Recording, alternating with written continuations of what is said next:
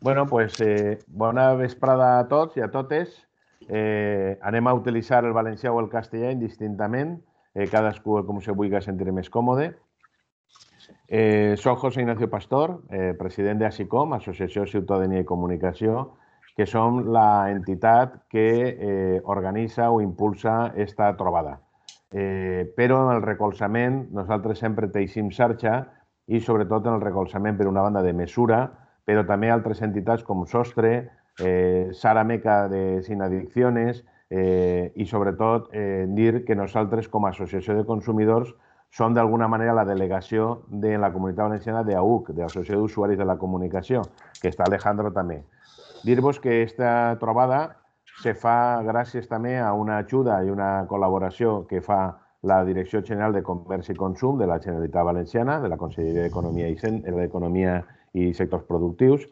És eh, una ajuda perquè com som una entitat de consumidors reconeguda en el registre de consumidors, ja fa temps que treballem en temes de prevenció i en el tema del drama que n'hi ha sobre moltes famílies i els menors eh, respecte a l'oci, eh, però sobretot relacionat amb el xoc, eh, en els últims anys eh, ha sigut bestial.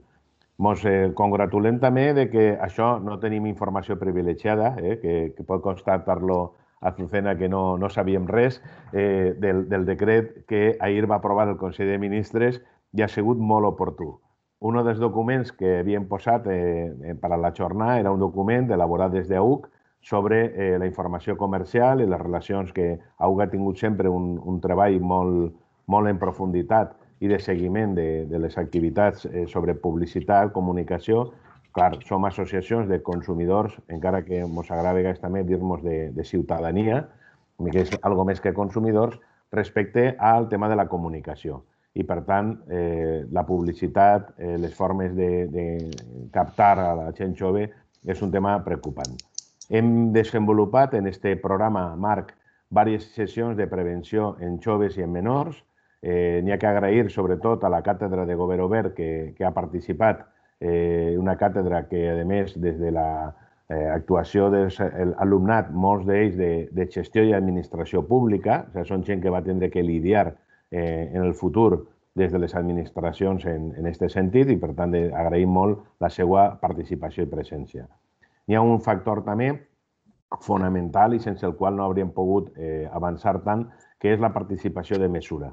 Mesura eh, som, són un grup de professionals de persones militants i actives que el que hem fet és, eh, com a treballadors, com a gent que, que treballa per a la societat i pel ben comú, treballar en projectes eh, que de, solventem a la societat o li plantegem a la societat reptes. Tenim un projecte en el qual esteu tots convidats a participar, algunes de les persones així ja estan dins, que és Apostem per tu. Apostem per tu és una espècie de hub que eh, el que fa és unir a molta eh, entitats preocupades per la situació de les addiccions en general. Avui treballem sobretot addiccions sense substància i el xoc en concret, però és un projecte global com altres que estem, per exemple, treballem l'albufera o treballem eh, la qualitat de l'aire, la salut en les escoles i, bueno, Mesura, per exemple, ha treballat amb el, el CSIC en un tema molt important com ha sigut la ventilació de les aules, que en aquests moments és un tema molt preocupant. Per tant, estem en punters en aquest sentit i sobretot per què? Gràcies a tots vosaltres que eh, en un projecte de governança, eh, de cogovernança, de cooperació, treballem conjuntament des de societat civil, des de les administracions, des dels governs i, per tant, eh, entre tots. Res més, jo dir-vos que estan gravant la sessió, Eh, també, si teniu alguna documentació que aportar-lo, farem una crònica eh, sobre la situació. Teniu en el web de ASICOM eh, que hem anunciat. Ja, ja hem penjat l'acord del, del Consell de Ministres. No, he, no sé si ha eixit avui, no m'ha donat temps perquè la faena m'ha dit una altra cosa, el, el BOE, però eh, el nou decret i també el document que va fer en el seu moment a U, que luego supose que Alejandro entrarà. Jo res més, eh, donem la benvinguda i la paraula al nostre conseller eh, Vicent Soler, eh, que sabeu que les competències de xoc les té eh, en la seva conselleria. I a més a més, eh, dir que la llei valenciana del xoc és possiblement una llei molt pionera i avançada i per tant, pues, bueno, Eh, Vicent, tens la paraula i quan vulguis. Benvingut i moltes gràcies per eh, oferir-nos un temps teu. Moltes gràcies.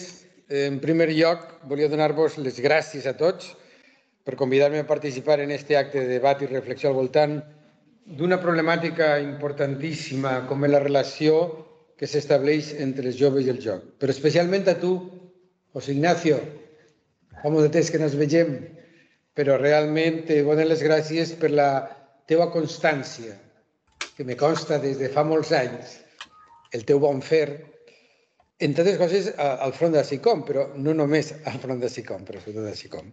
Per tant, moltes gràcies per la invitació i moltes gràcies per poder dirigir-me a tots vosaltres.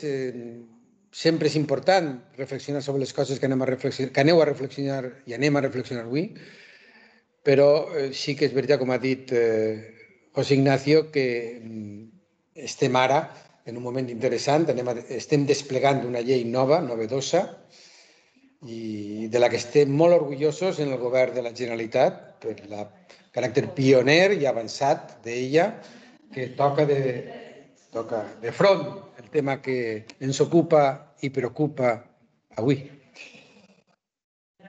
Com he dit, per a mi és un plaer. És un plaer estar així amb tots vosaltres, representant del món universitari i del teixit associatiu juvenil del nostre país, del nostre territori, fent palès una realitat creixent al voltant del joc, desmitificant aquesta activitat com una, opció, com una opció d'oci i compartint una preocupació al voltant dels efectes perversos que pot ocasionar la pràctica irresponsable del joc que pot derivar en un trastorn addictiu com és la ludopatia.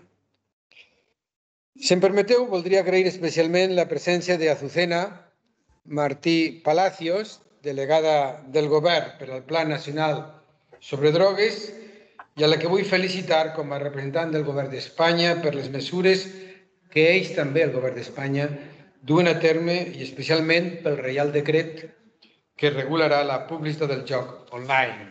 Importantíssim.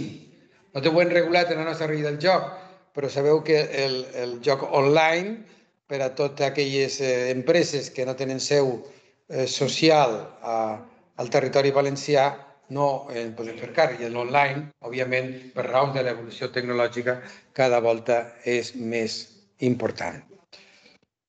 Durant aquests últims anys hem assistit a canvis substancials en les diferents modalitats del joc, també mm, relatats a aquest estudi que avui ens presenteu.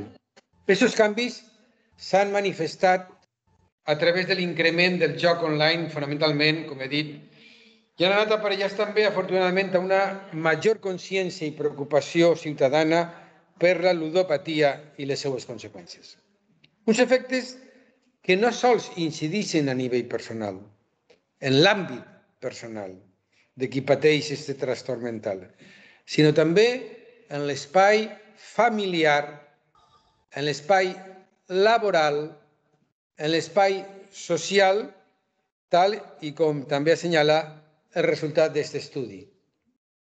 És necessari, per tant, visibilitzar i aflorar una nova conjuntura que no és exclusiva del nostre territori, no és exclusiva, òbviament, del territori valencià, sinó que pateix també tota la societat espanyola i europea i que preocupa cada vegada més, com és la major prevalència del joc problemàtic i del patològic i del, en edats cada vegada més joves. Per això és urgent conjurar-nos com a societat des de totes les vessants d'actuacions possibles per poder fer-li front i aminorar la greu incidència que en termes de salut pública té per a la nostra comunitat. El govern del Botànic així no ho ha entès i per això ha impulsat una llei pionera, com deia Des, en tot l'Estat, pionera de veritat, que esperem servisca d'espill en el que mirar-se altres comunitats autònomes. Una llei que no només regula el joc privat i online, el que ens pertoca competencialment, com ha dit Adés, sinó que lidera la plasmació d'una estratègia de prevenció de la ludopatia en el seu cos normatiu.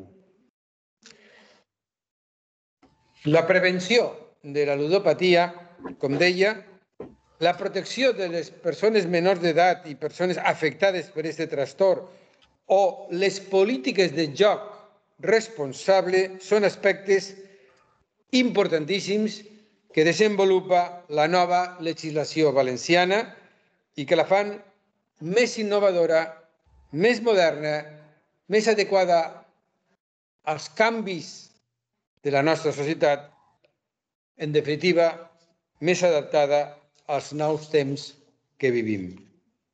Amb aquesta nova norma pretenem donar resposta a les conseqüències derivades de la proliferació d'activitats del joc en les seues diverses modalitats, a una nova situació del mercat del joc, acord amb els principis d'interès superior de les persones menors d'edat de, de necessitat, d'eficàcia i proporcionalitat, seguretat jurídica, transparència i eficiència que han de presidir l'actuació de les administracions públiques.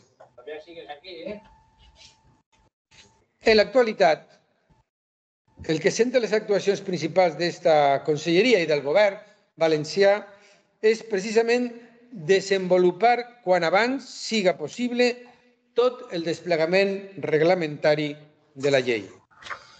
I en això estem treballant, en disposar de noves estratègies i ferramentes, eines, perquè la pràctica del joc es du a terme amb responsabilitat.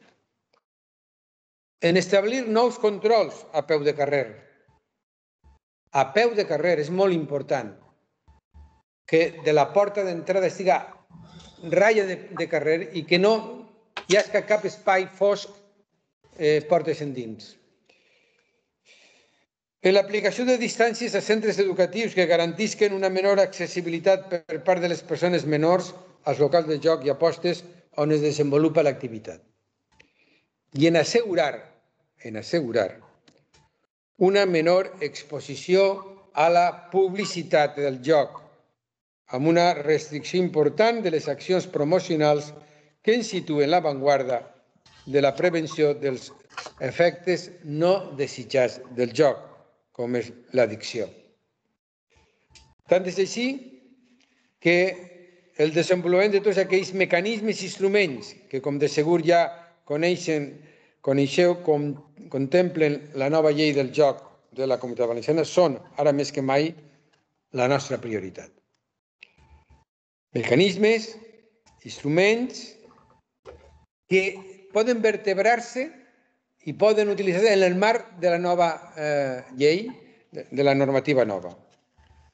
Espero, per tant, que els resultats d'aquesta jornada, així com les conclusions d'altres que l'han precedit, servisquen de far, de far per guiar totes les administracions en la seva responsabilitat com a servidors públics per a protegir a les persones.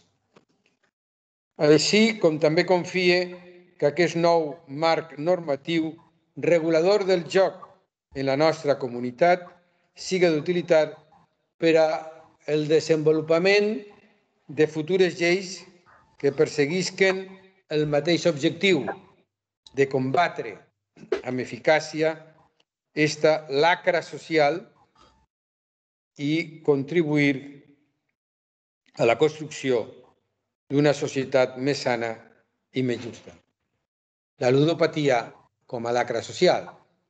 Per tant, el joc no és un sector econòmic qualsevol, és un sector econòmic, efectivament, però és un sector econòmic que necessita de regulacions protectores de la gent més vulnerable, els joves i la gent que pot caure i cau en aquest trastorn que significa la ludopatia. Moltíssimes gràcies i espero que tingueu eh, molt d'èxit José Ignacio i a tots en aquesta jornada que la trobe molt important. Ja sé que jo en aquests moments estic eh, preocupat perquè els pressupostos de la Generalitat isquen endavant, però la veritat és que una parcel·la important de, de, de les meves eh, responsabilitats és esta que estem avui parlant i que n'estic molt interessat en veure com desenvolupeu reflexions que puguen permetre a il·luminar-nos eh, no només en el, en el, en el desplegament normatiu que hem de fer de la llei, sinó també en com instrumentar eh, per a combatre eficaçment eh, esta situació tan que afecta de tal manera a, com he dit, a les persones vulnerables, als menors i als ludòpates. Moltíssimes gràcies.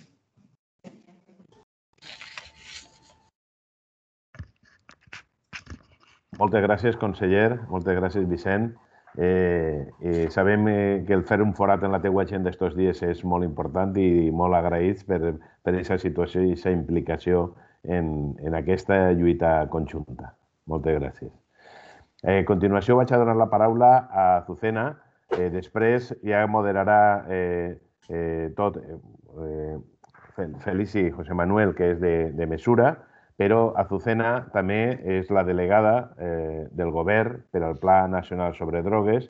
Tenim el plaer de que jo dia de broma abans, quan estàvem abans de connectar-nos, del poder valencià que augmenta, perquè ella és valenciana, parla valencià i, a més, eh, bueno, pues és psicòloga eh, i està al front d'una de, delegació que, a més, suposa que avui contentíssima perquè no podíem haver eh, elegit millor dia per a que entre eh, una nova llei del, de, que vol dir que un govern que se preocupa eh, d'estos drames personals que n'hi han, que durant molt de temps ha estat treballant eh, des del moviment d'associacionisme, del consumerisme, des del moviment associatiu, moviment veïnal, etc, per aquest drama que tenim, con un sector també econòmic preocupat també, eh, una nova llei que deixa una adaptació durant un temps, del, almenys fins a agost de l'any que ve, els contractes signats se podran fer per un món també desaforat del futbol, de l'esport sobretot, per el futbol com eh, utilització d'imatges icòniques, eh, d'una situació de, de les, la prohibició de les bonos, en fi, no entre jo perquè això no me toca a mi, eh, sols estar molt, comentar-vos la emoció de, de tindre-vos així. Així que endavant Azucena i així inaugureu tant el conseller com tu com a delegada eh, aquesta jornada. Endavant moltes gràcies per les teues paraules i també agrair les paraules al conseller d'Hisenda, a Vicent Soler, per eh, també i felicitar-lo per, la, per la llei valenciana de, de joc. Eh, avui és un dia per estar molt contents des d'ahir, no? Per lo que estàveu comentant, per l'aprovació del Real Decreto de Publicitat del Joc. I és una mostra més de quan s'unen els moviments ciutadans de reivindicació i quan s'auna la sensibilitat política de fer front a aquestes necessitats que la població demana en un moment determinat i este ha sigut un dels casos últims que han tingut en, en, el, en, el, moviment, en, en, el, en el tema d'addiccions, que ha sigut tot el moviment despertat a raïl de la publicitat tan desaforada que ha hagut en els mitjans de comunicació i també el número d'apertures de, de, de joc presencial en les ciutats i que ha fet que se vagin regulant. Aquestes mesures de, regula de regulació són, perteneixen a el que normalment denominem prevenció ambiental i que a una el que són tant els programes d'educació, de sensibilització i també les normes que tenen que anar eh, adaptant-se a el canvi tan brutal que en el món de les addiccions se produeix contínuament. Eh, és un món canviant, és un món on tenim que estar contínuament alerta per a veure les tendències que n'hi ha en els consums i això fa que també se tinga que regular. Se tinga que regular, com molt ben, molt ben dia el conseller, eh, protegint a les persones més vulnerables, a les persones més joves. I això és el que s'està fent. Eh, a més, en aquest cas, s'ha de fer en coordinació també entre les comunitats autònomes i el govern central per les competències que tenen diferents en matèria de joc, tant presencial com online. Entonces, és un, una molt bona notícia. Ja les comunitats han anat també fent les seues lleis de regulació del joc presencial, com estàvem parlant l'última, la de la comunitat valenciana, i això fa que podem, puguem parlar de que anem protegint a la nostra població. Des del Plan Nacional de Drogues està sigut un objectiu prioritari en els últims anys el donar cabuda des de la Estratègia Nacional de drogues a les addiccions comportamentals i, sobretot, dotant-les també de les subvencions necessàries per anar eh, poder-se portar programes eh, que se dediquen a les addiccions comportamentals específicament. I en aquest sentit, podem parlar de que en l'últim any, per exemple, han sigut 3 milions d'euros el que hem dedicat a programes tant d'investigació com programes de prevenció eh, de l'àmbit comunitari, de l'àmbit de tercer sector i específicament, com dic, a lo que són addiccions conductuals. També una altra, una altra tarea que hem realitzat durant aquest últim any, que és molt important, ha sigut el treball que han fet sobre indicador de demanda d'assistència.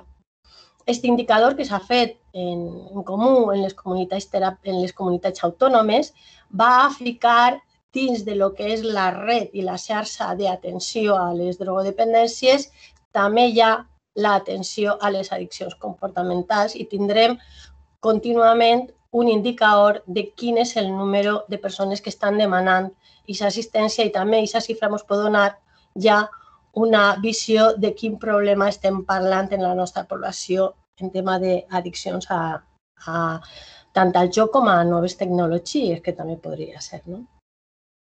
Un altre punt important que estem treballant, hem iniciat ara fa poquet les primeres reunions, és sobre el protocolo de prevenció, que seria un marc sobre el que treballar els diferents eh, programes de prevenció, un marc basat en la evidència científica i en la efectivitat dels programes per a poder tindre un mapa de quins serien els programes més efectius per a la nostra població i a què, a què, a què programes i a què poblacions dianes anirien dirigits. També en aquest en sentit es, anem a començar a treballar també en un protocol de diagnòstic i també de tractament. Tots ells basats en eficàcia i en evidència científica, en qualitat, en programes de qualitat. Un altre punt també important és el, i sobretot és el punt de col·laboració contínua i cooperació contínua tant en sectors com és el tercer sector, com són les organitzacions com ara la vostra de consumidors o aquelles associacions juvenils que tenen eh, esta capacitat d'activar no? la demanda i també la xarxa de, de tractament o de prevenció de les addiccions, mantindre contínuament aquesta fluidesa en la comunicació per a poder mm, dotar de recursos aquells eh, associacions, comunitats autònomes en, en els seus programes o com són municipis també en els seus programes i a la universitat també per a, per a poder iniciar projectes d'investigació que són imprescindibles per a poder, junt en el diagnòstic de població que tenim, també anar veient quins serien els programes més avançats que podrien anar adaptant-se a les noves situacions. I en tot allò, nosaltres, des de la delegació del Plan de Drogues, pues, ficar els nostres recursos al vostre servici. Això és fundamental, la comunicació contínua. Des d'ahí, nosaltres el que ja per finalitzar us dic és eh, la, la gratitud que tenim de que vos fiqueu a organitzar pues, jornades com esta en la que se pot, se pot compartir tant el coneixement com també mantindre aquesta formació continuada de les persones que treballem en addiccions.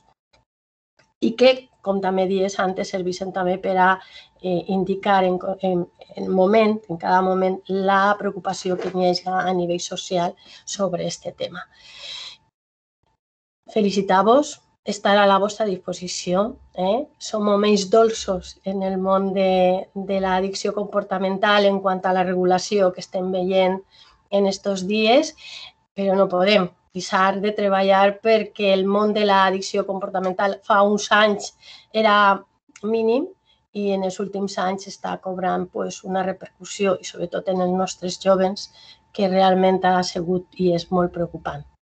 Entonces, a col·laborar contínuament i a treballar perquè puguem evitar les conseqüències i sobretot l'inici en aquesta adicció. Moltíssimes gràcies per invitar-me i felicitacions per l'organització.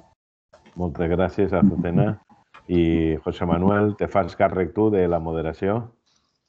Molt bé, endavant. Eh, bona, bona vesprada. Eh, José Manuel, passat... José Manuel, sí, perdona, però jo me...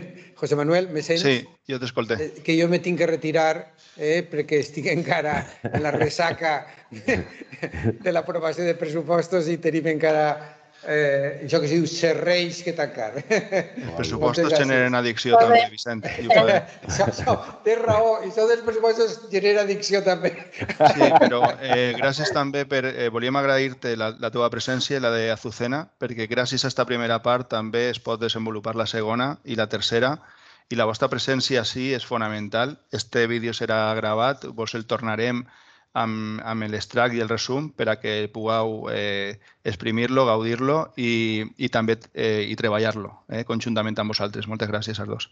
Moltes gràcies. Gràcies, Vicent. Gràcies, Azucena. Adéu, adéu, adéu. adéu. Ignacio. Bueno, es comencem la, la segona part. Eh, eh, la primera part eh, hem parlat que eren representants polítics. Eh, en esta anem a ser estrictes en, en el temps. Eh, com eh, vos he comentat abans, anem a, anem a gra bueno, estem gravant-la, anem a muntar-la en dos vídeos, un vídeo curt, un vídeo més gran, eh, per a poder difondre-les a totes les eh, associacions i, a, i els ajuntaments que vulguin treballar sobre aquesta temàtica d'una manera conjunta i coordinada. Eh, donem ja pas a, a, a, a Francesc Verdú, a Paco Verdú, i ells eh, tens de 10 minuts, Paco. Moltes gràcies.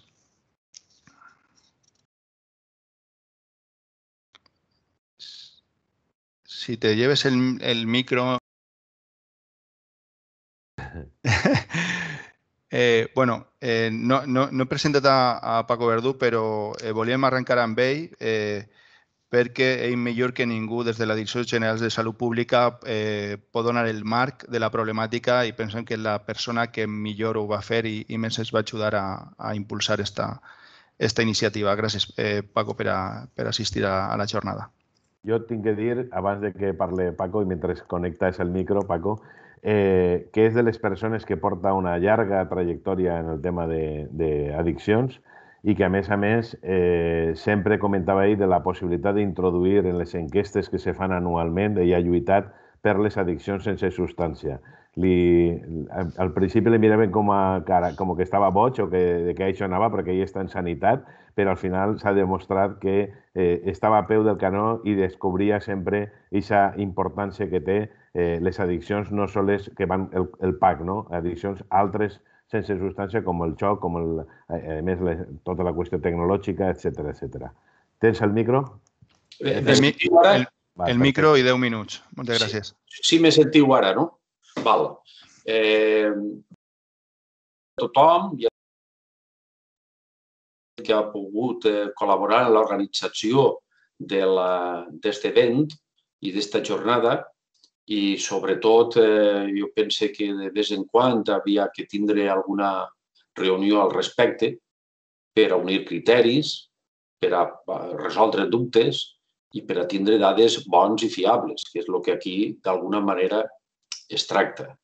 Eh, tenim eh, dos instruments eh, importants Eh, avui ha passat a l'organització el Real Decret eh, que ha, eh, ha sigut publicat pel Ministeri avui, on d'alguna manera el que fa és eh, regular o intentar regular el millor possible les comunicacions comercials, que és un bon eufemisme de la publicitat i de més. I, a banda de tot això, doncs, nosaltres també contem en una llei que ha sigut la primera, probablement, de les lleis que s'ha aprovat a l'estat espanyol, i que, òbviament, han fet un esforç.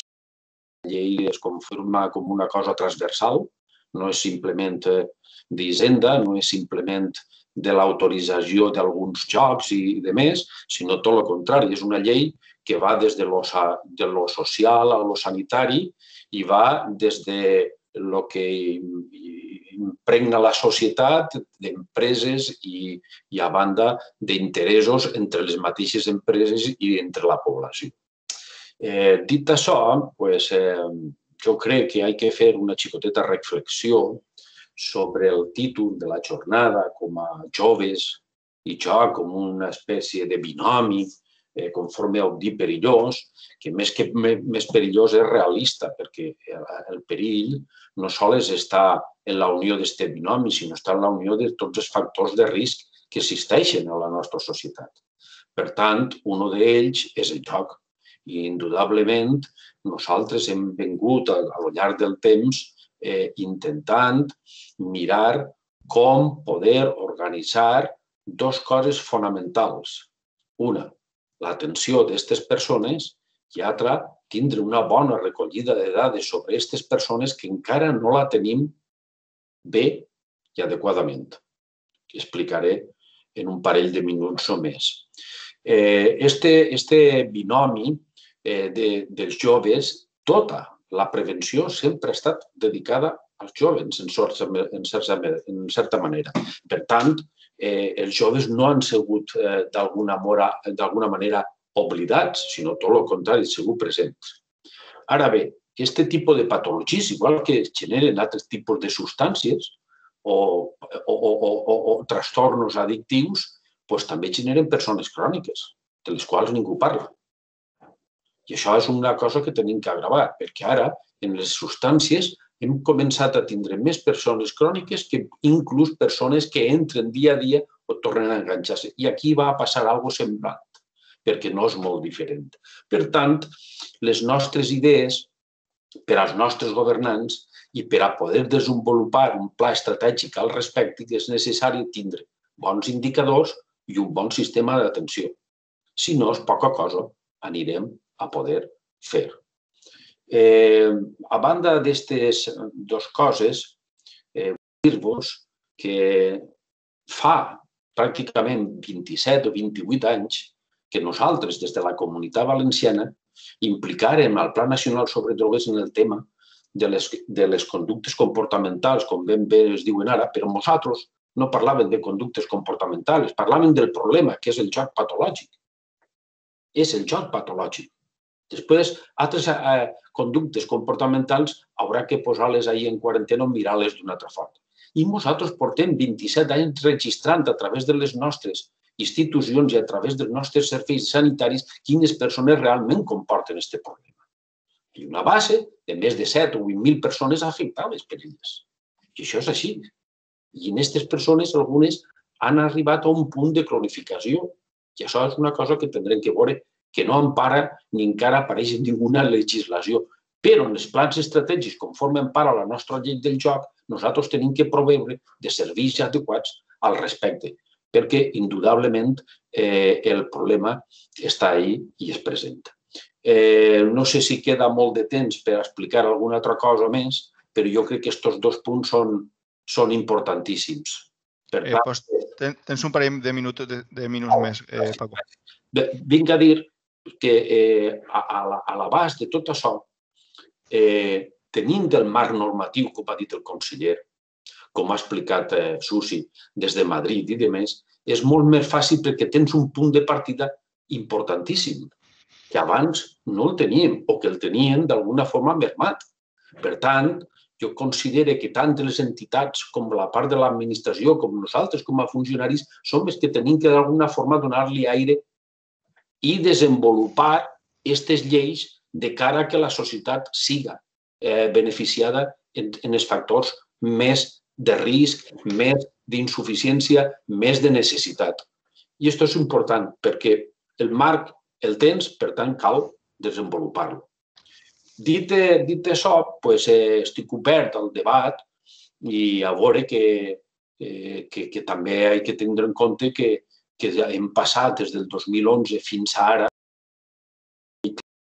el mercat atroç i veurem, veurem com va desplegar-se aquest decret reial i de quina manera va d'alguna forma a influenciar en les persones que d'alguna o altra manera van a caure en l'addicció i en aquest cas en el joc patològic. Molt bé, si voleu eh, ho deixem així en, en Paco, continuem en, en Mariano Cholis Montañés. Eh, En principi, sempre que hem parlat, eh, José Ignacio, de com organitzar esta, esta jornada, eh, parlàvem en eh, associacions, en, en, en unitats de, en, en els ajuntaments i tots em portaven a, a que Choriz era eh, una veu fonamental que estiguera en esta, en esta jornada i agraïm la, la seva presència. Eh, Mariano, si podem eh, veure, seria fantàstic perquè la, la jornada seria, és gravada i tot es, es comenta que és molt rellevant el que tu es pots comentar i moltes gràcies per la teua assistència a la jornada. Eh, deu minutets eh, per començar. Gràcies. Eh, bueno, pues muchas gracias a, a la organización por, por invitarme a esta, a esta ponencia.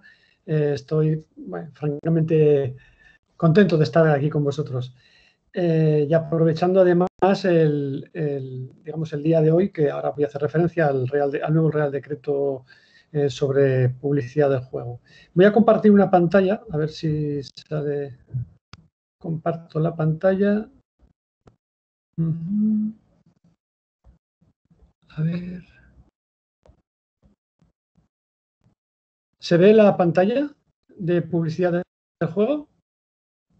Eh... T'hem perdut a tu també. Sí? Ah, bueno.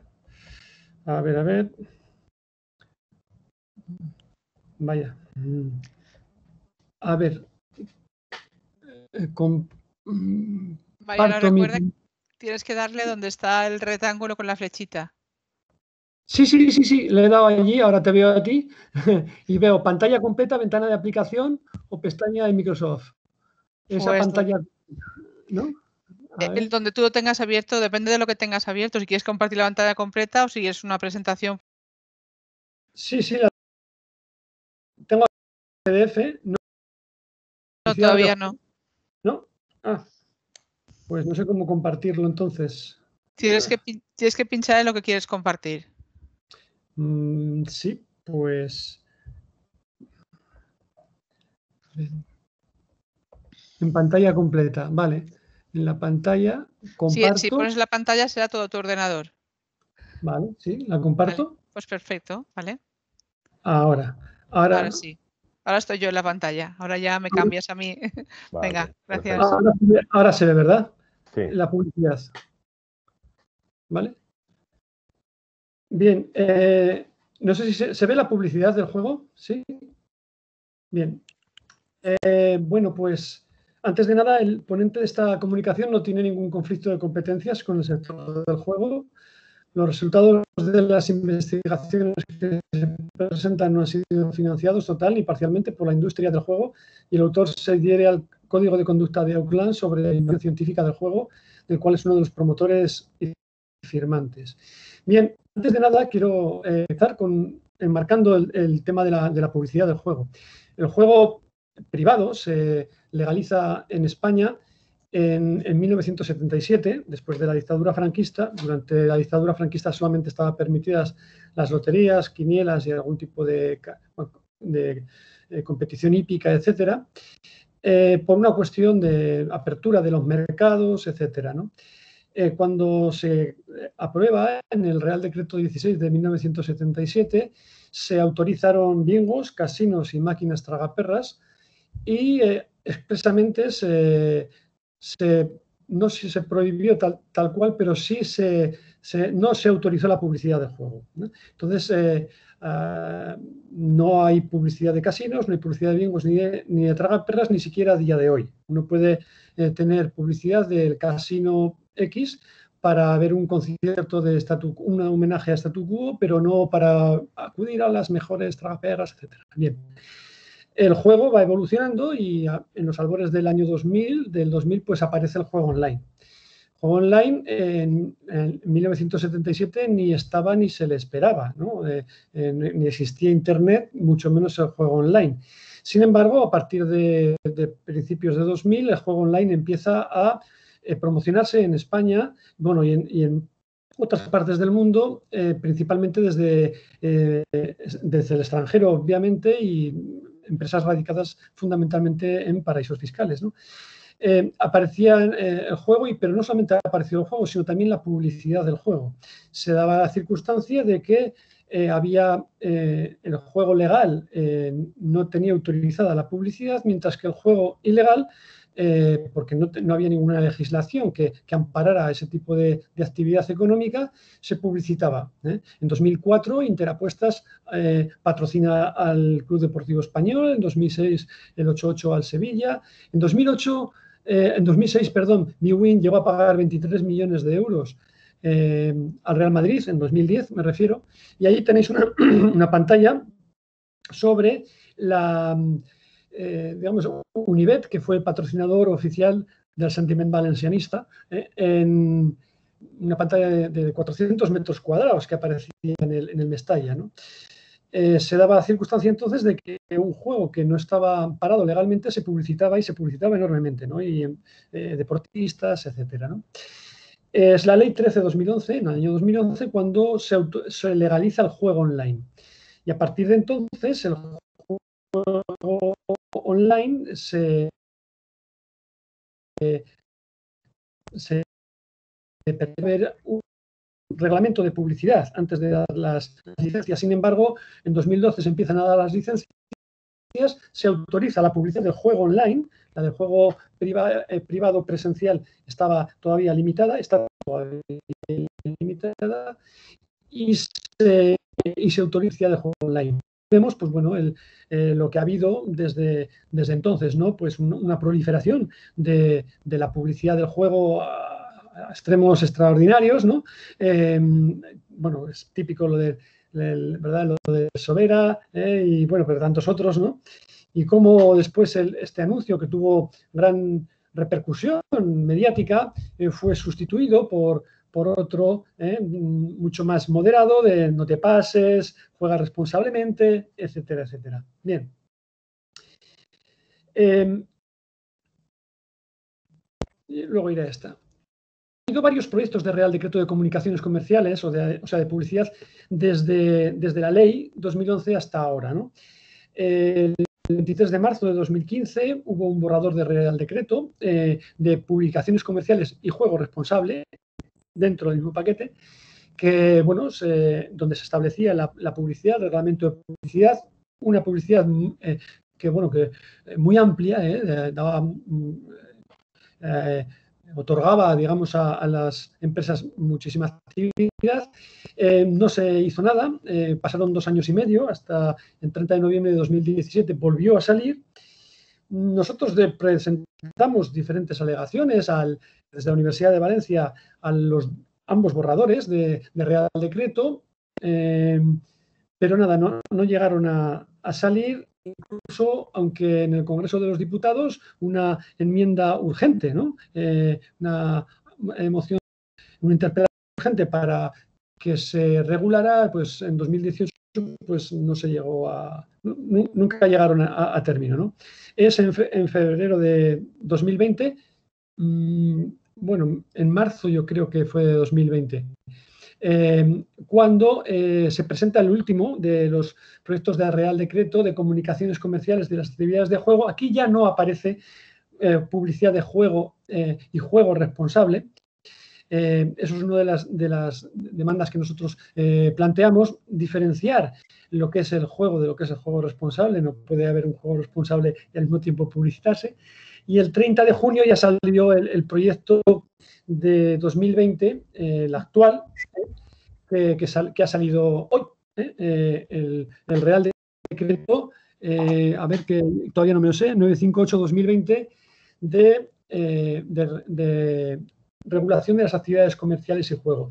Este ha supuesto un cambio sustancial y cualitativo de la publicidad del juego en España eh, y hay que reconocerlo. ¿no? Hay, eh,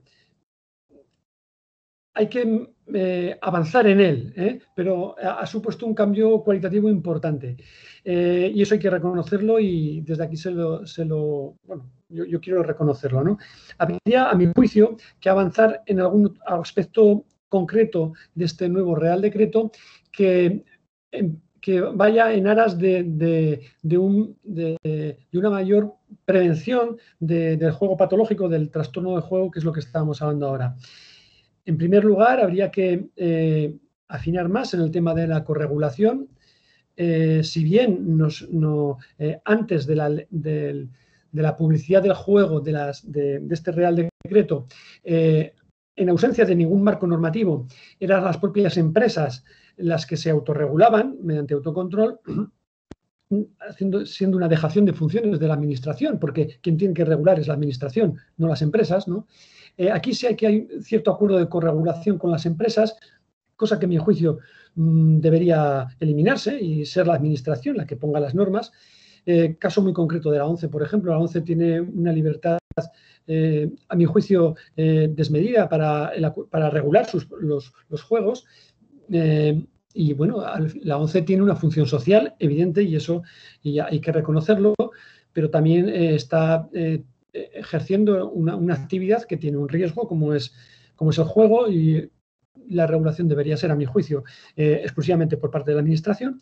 Debería diferenciar entre tipos de juego. No todos los juegos tienen el mismo potencial adictivo y por lo tanto deberían eh, tener una exigencia eh, los más adictivos, pues las slot, eh, el juego online en general, las tragaperras y juegos de casino son más adictivos que, loterías y otro tipo de juegos y eso debería plasmarse también en la ley.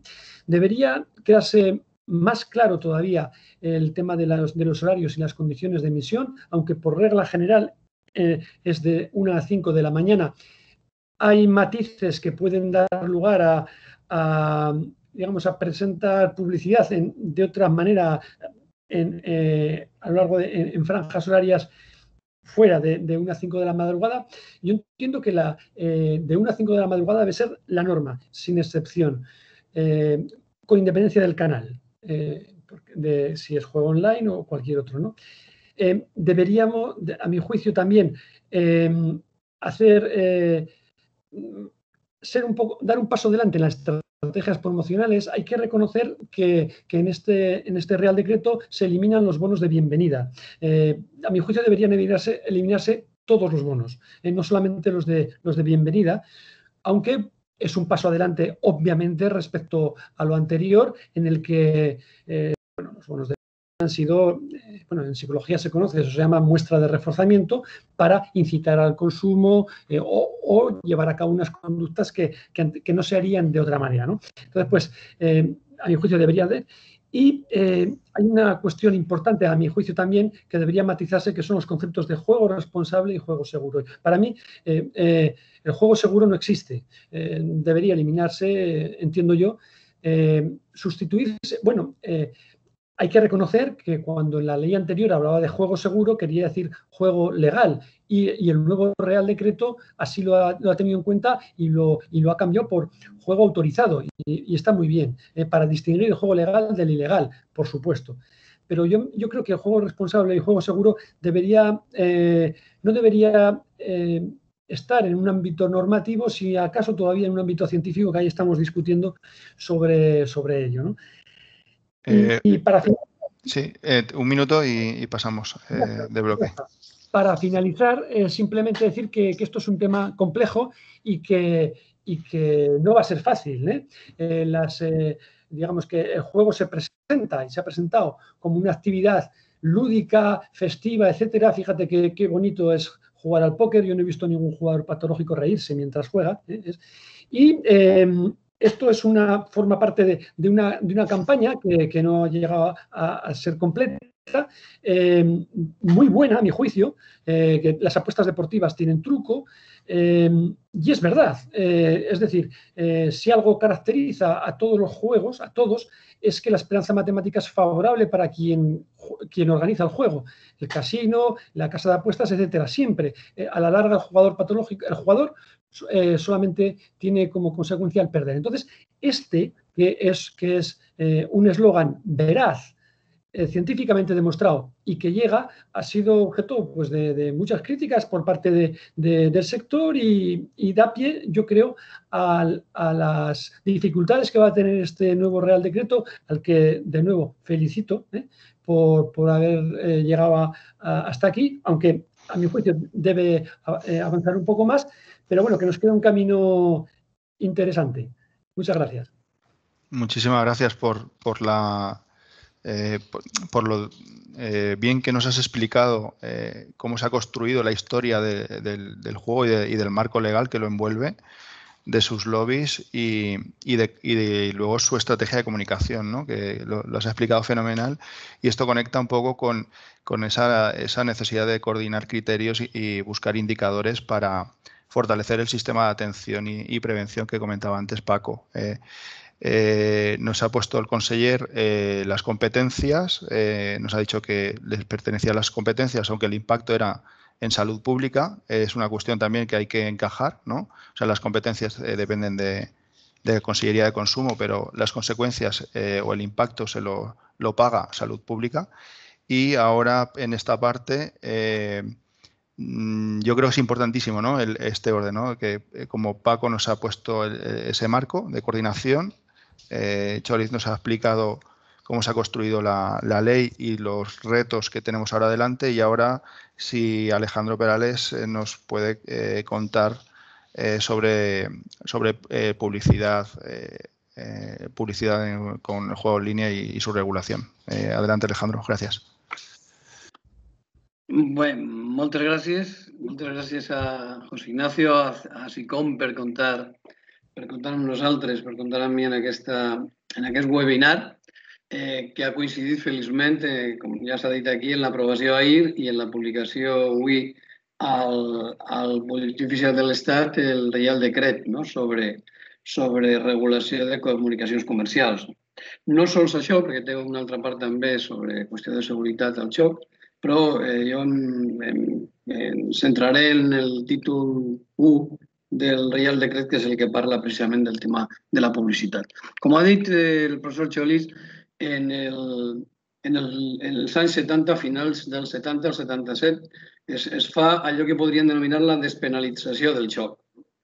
I van passar uns quants dècades fins a que en el 2011 s'aprova la llei de regulació del joc. Hi ha un, hi ha un munt de temps ahí en el que el joc ha continuat funcionant, Eh, nosaltres hem passat ahir per un verdader calvari moltes vegades pleitejant en contra de les cases d'apostes en les Isles Barbudes, traduint a l'anglès tot el procediment legal, en dificultats eh, molt fortes, no?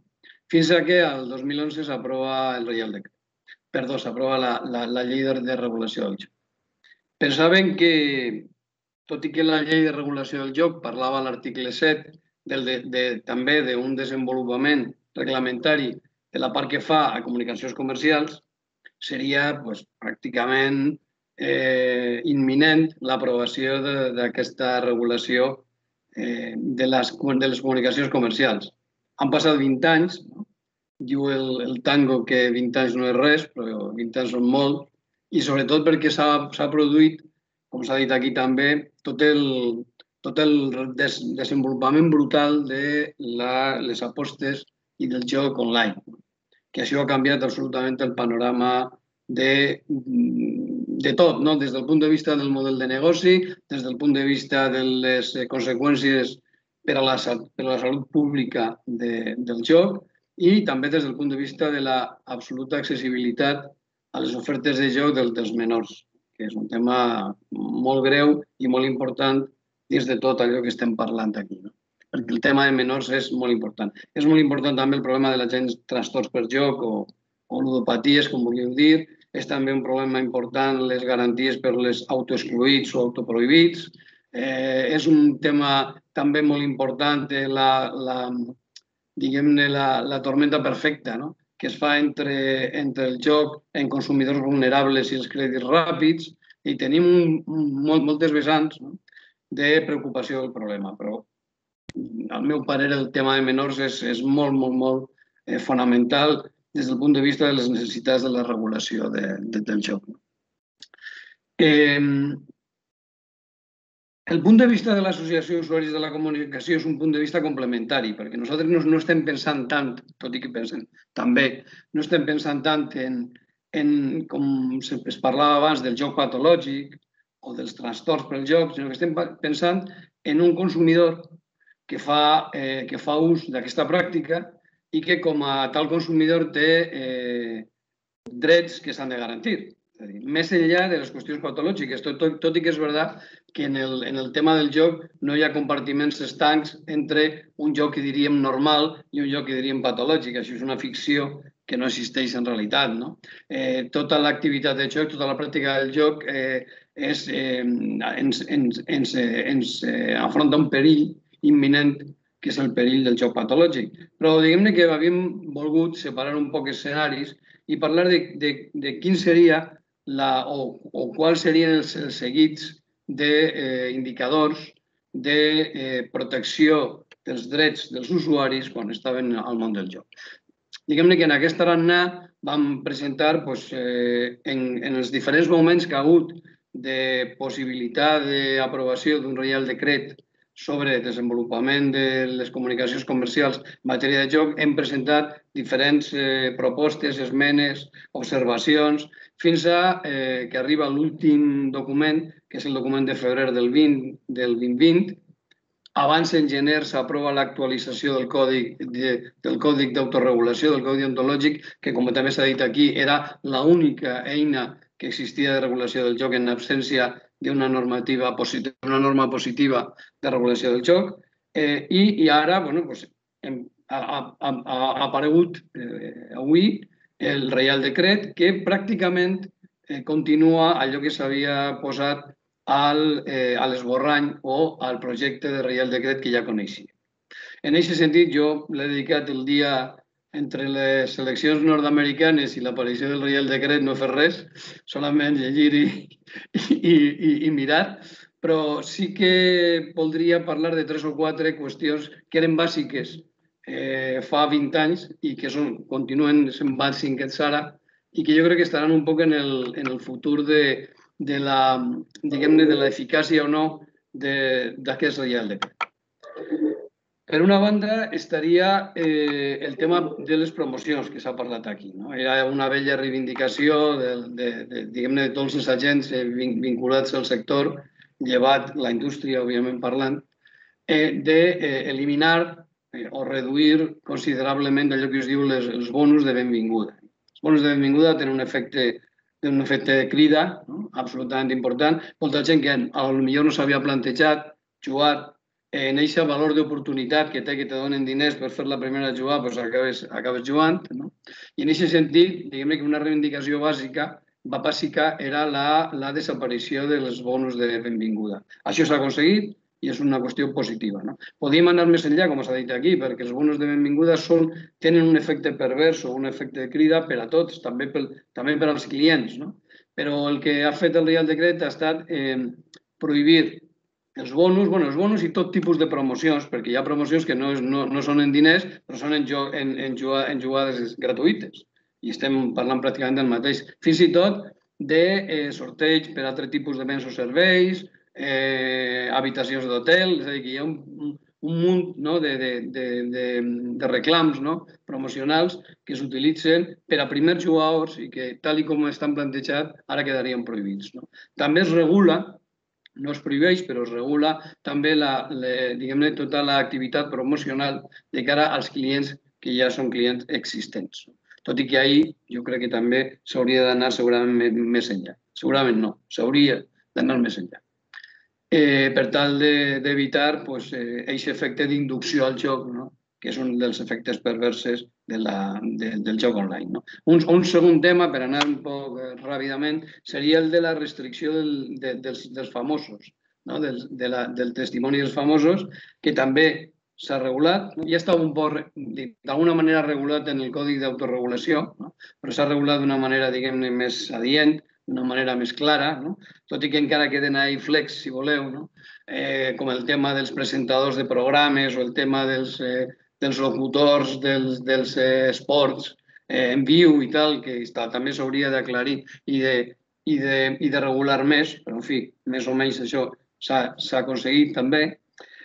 Hi ha una part que, que, que està relacionada amb els criteris de eh, de, diguem-ne, el, el seguit de, de l'argumentari, els criteris d'argumentari de la publicitat. Allò estava pràcticament ja eh, eh, contemplat al Codi d'Autoregulació. eh, més enllà de les, de les mancances del Còdic d'autoregulació com a tal model d'autoregulació, eixe seguit de, de prohibicions a l'argumentari estaven pràcticament ja eh, contemplades allí, com deia.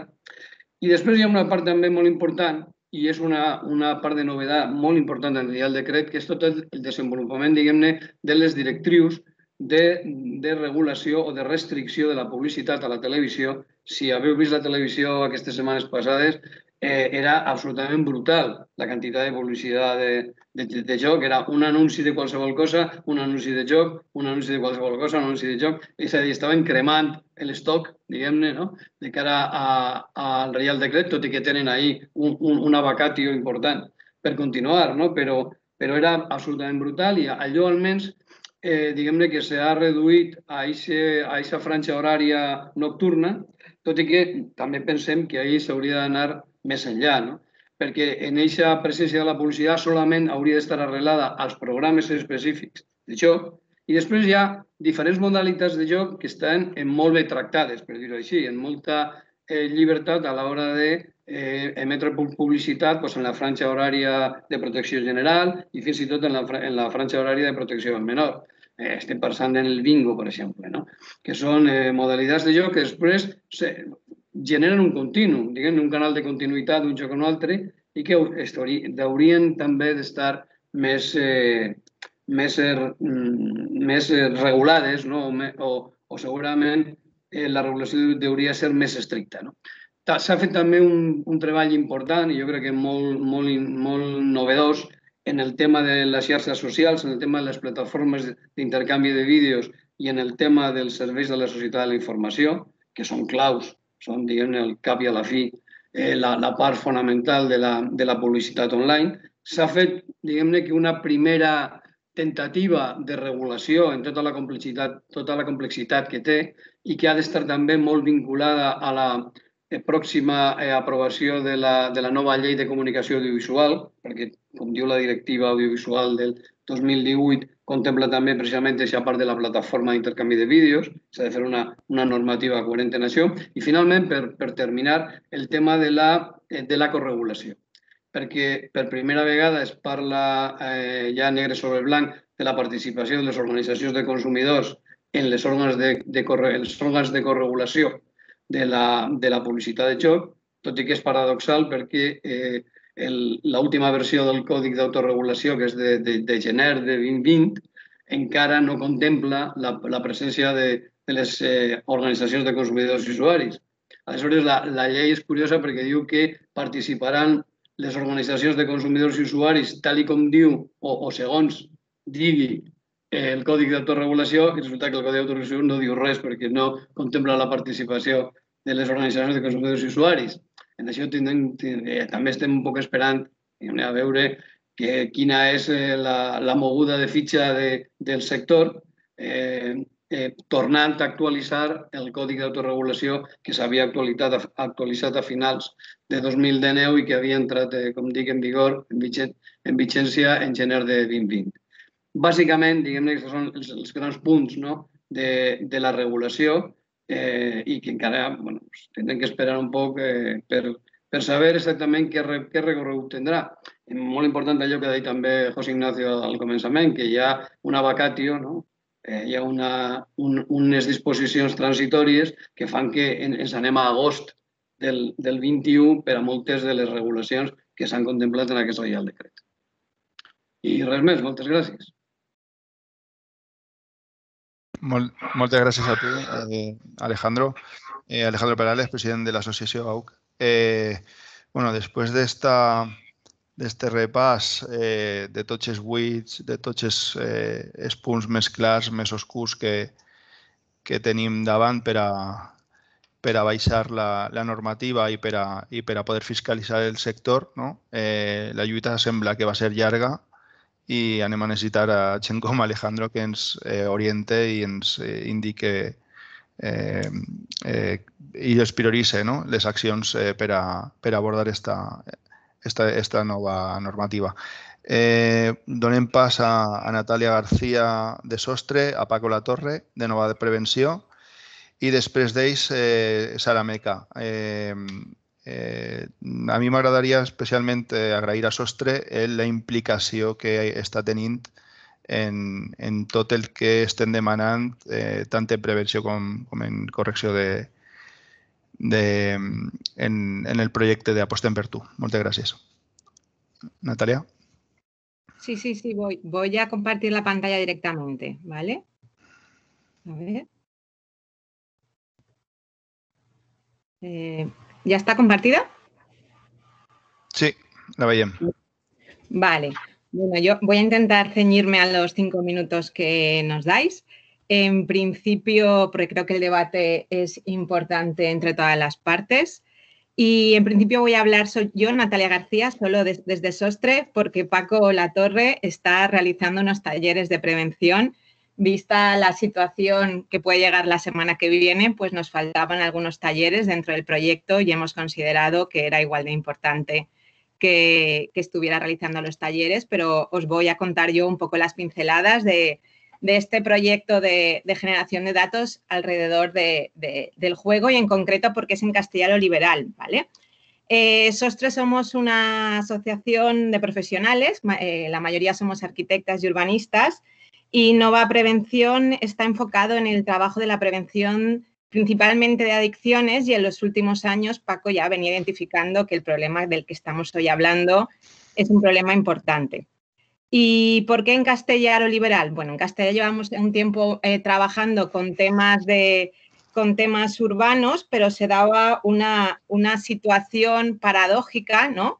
Eh, en el que creo que un poco eh, nosotros vamos a hacer una parada ahora con lo que os vamos a explicar respecto a todo lo que habéis contado antes, ¿no?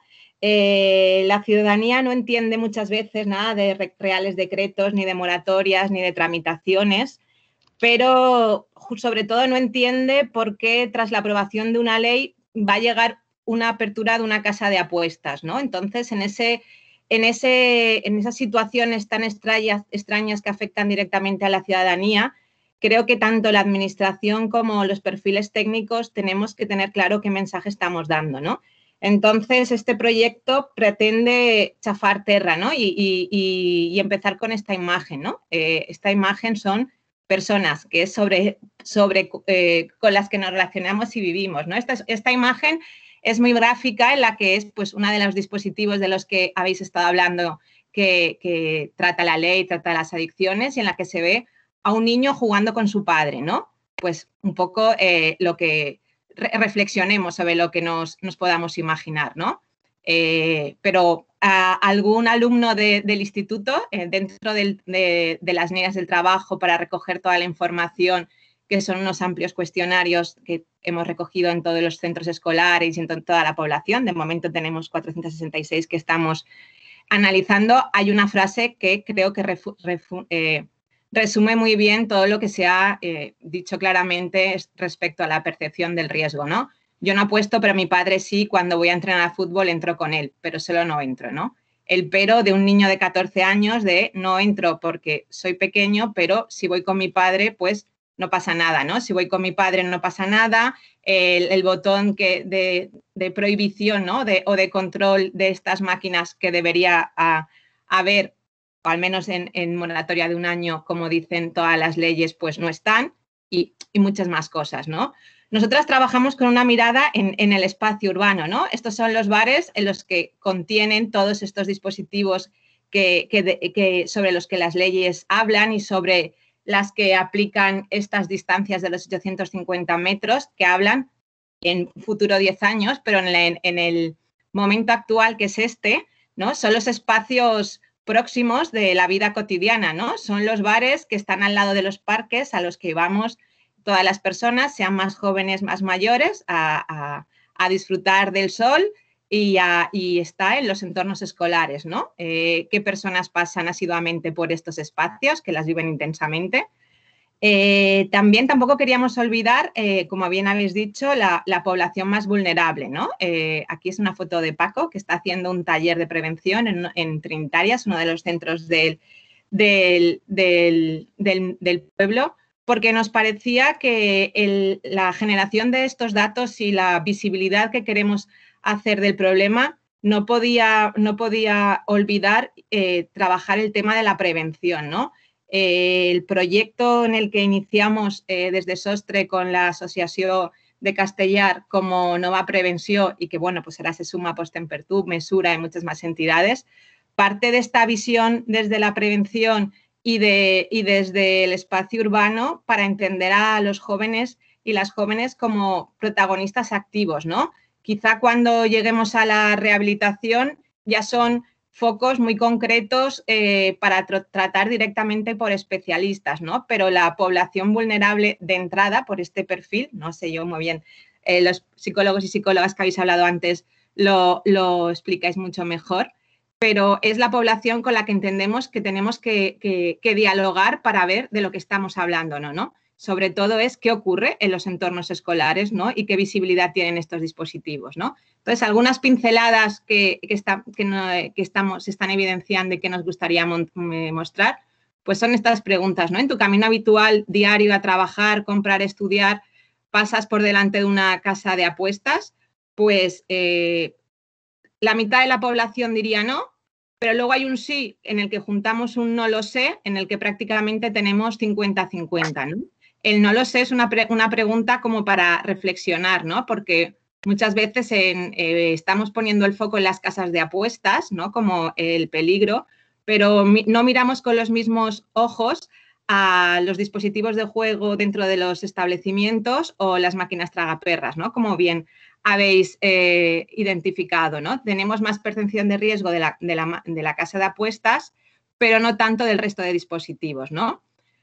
Un tema que nos parecía también importante es diferenciar entre la vivencia del espacio público y los entornos que hace la población general, más mayor, por así decirlo, o el alumnado de, los centros escolares de castellano en 12 y 18 años. ¿no? Si hiciéramos una media frente a la pregunta, ¿alguna vez has entrado a estos lugares? No hace falta para, para, para apostar directamente, pues para tomar un café, una cerveza, un helado pues la, respuesta general es bastante más baja.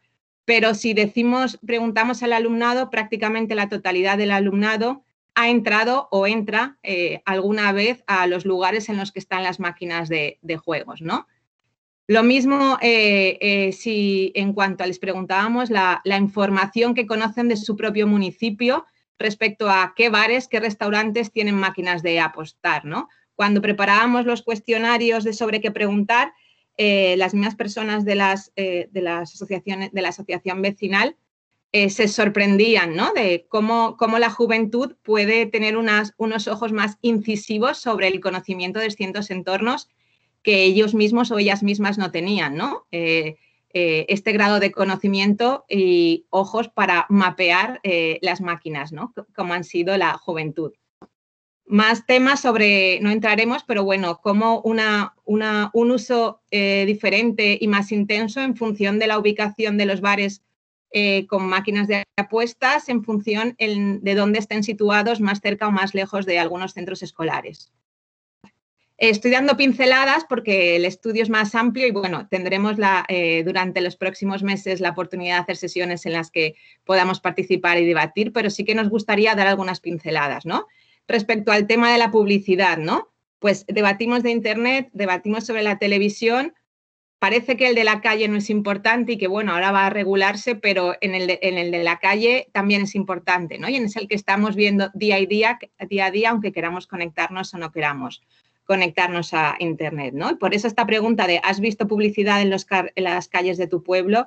Pues cuando el alumnado prácticamente la totalidad dice que sí, pues es un tema importante, ¿no?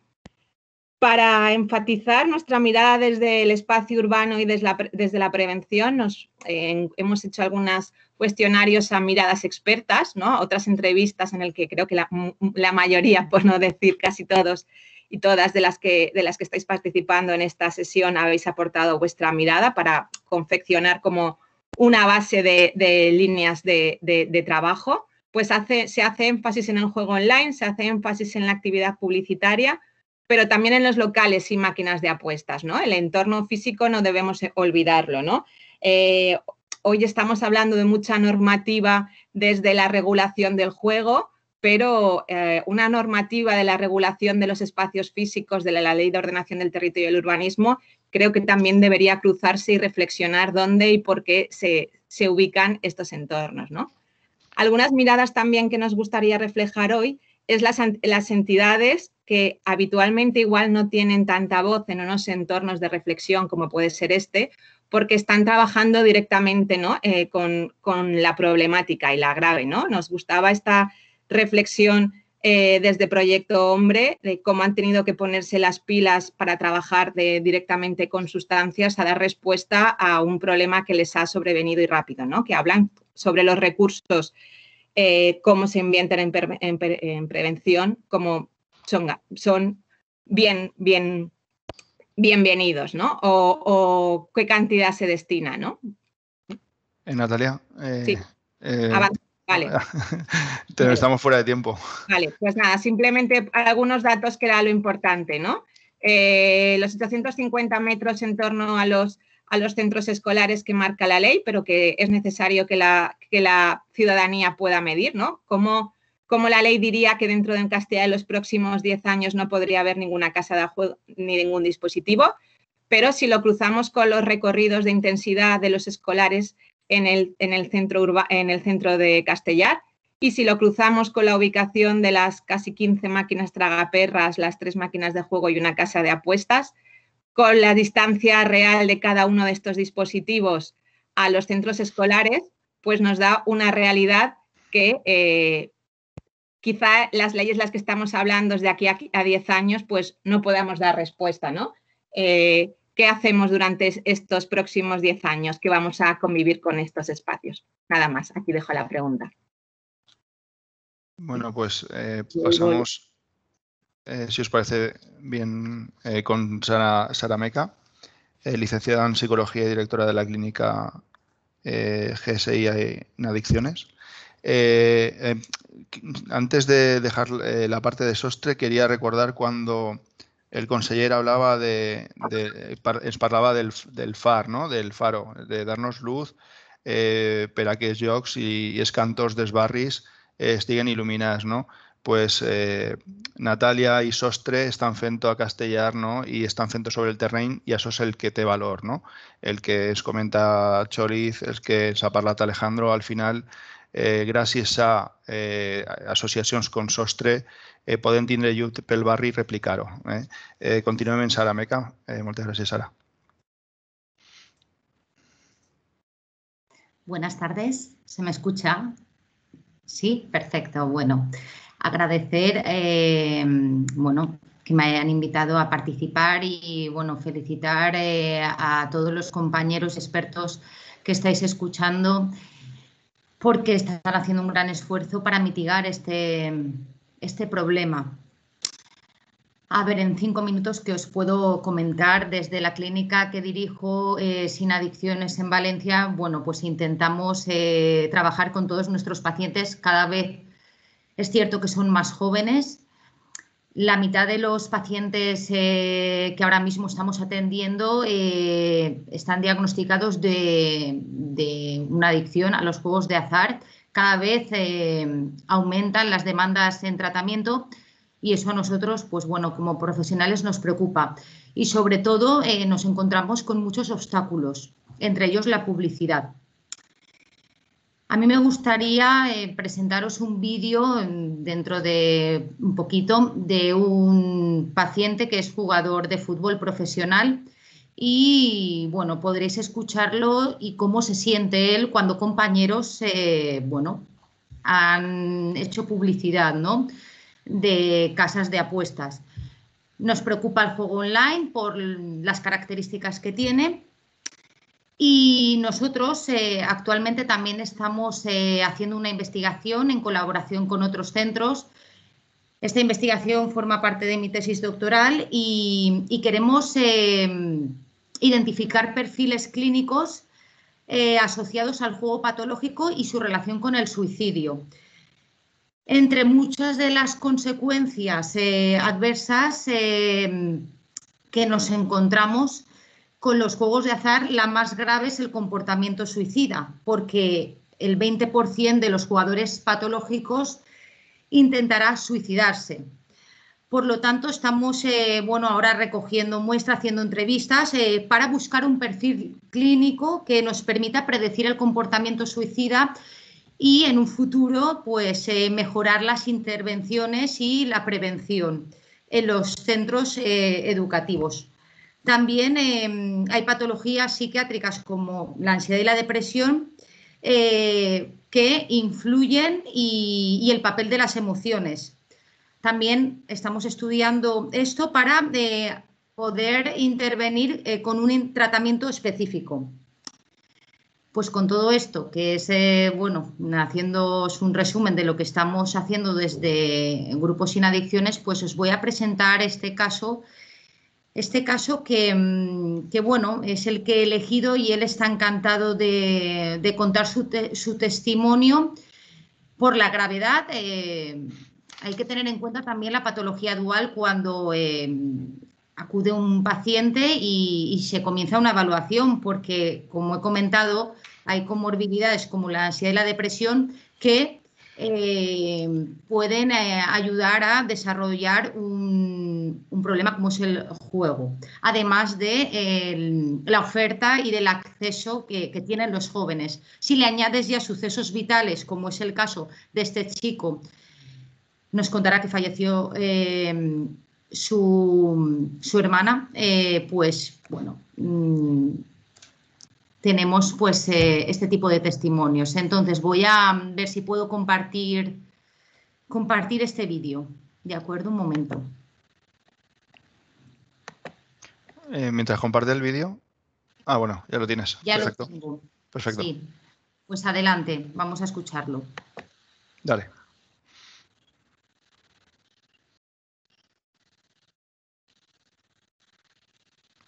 Yo no lo oigo, no sé si lo oís. Ahora, ahora ha vuelto a pasar lo de antes, no se oye. ¿No se escucha? Lástima. Sara, recuerda que tienes que pinchar antes, arriba a la izquierda, incluir el sonido. Un momentito, un momentito, voy a volver a intentarlo. Ah, sí, sí, lo tengo. Creo que, que lo solucionamos ahora más rápido. Adelante. Un momento. Qué lástima. Qué lástima. Mm. A ver, un momento. Se ha ocurrido lo de antes exactamente. Igual. A ver, un momento. Bueno, mientras lo carga, eh, os he puesto en el, a todos los participantes en el chat eh, un enlace, no sé si lo veis todos. Eh, después de ese enlace también hay un número, un código, para que colguéis ahí vuestras preguntas y entre José Ignacio, Nuria y yo eh, recogemos las preguntas y seremos ágiles para lanzarlas a, todos los ponentes. ¿vale? Otra manera es, aquellos que tengáis acceso al chat, ponerla en el, chat las preguntas y haremos paquetes y las iremos entregando para, agilizar. ¿vale? pues eh, siento mucho que no pueda compartir porque, porque, bueno, es un caso, es sobre todo pues llamativo porque él mismo expresa cómo se siente cuando compañeros, bueno, pues eh, hacen publicidad de... Inténtalo igual que antes has hecho, vuelve hacia atrás y, vuelve a intentar, porque antes ha funcionado muy bien. Sí, ha funcionado, ahora sí. Sí. No, digo porque mientras estamos viendo esto, el chat José Manuel no se ve, por la, gente que no está eh, dentro de la universidad no lo ve. ¿eh? Sí, el, eh, de todas maneras sí que tienen en un correo el, ah, enlace y el código. Es decir, en el correo de confirmación ahí lo tenéis. Vale. ¿Vale? Y... Las personas que esteu, que esteu connectats ara y no esteu dins del campus de, de la Universidad Politécnica, eh, no teniu accés al chat. El que estem explicant és que heu rebut un correu en un enllaç a un sistema de preguntes i con un, té un còdic. El número de còdic en concret podem dir-ho. Sí, y picáis, y si picáis primero la web, os digo la web, es www.sli.do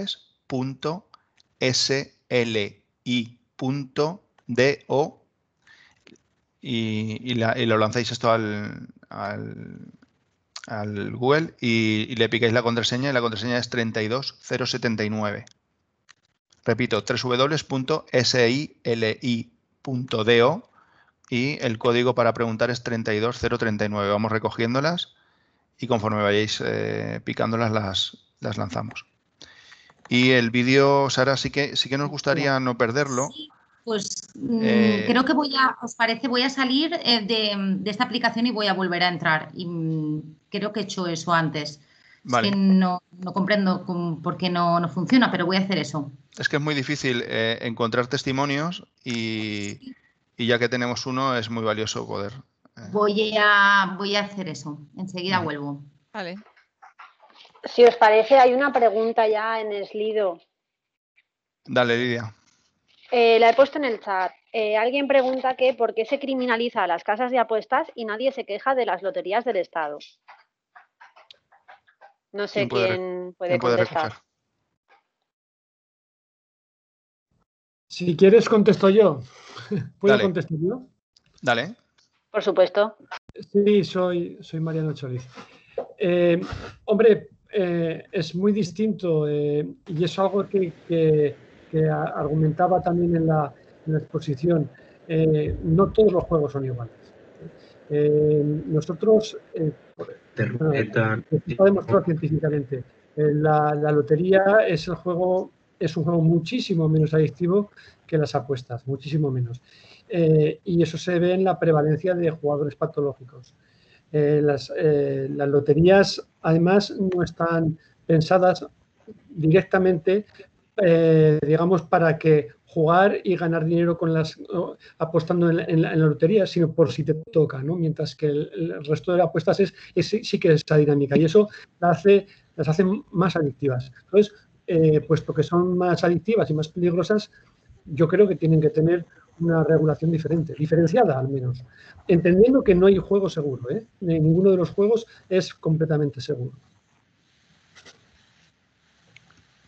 Eh, tenemos el, tenemos el vídeo, eh, le damos al vídeo y continuamos con las preguntas.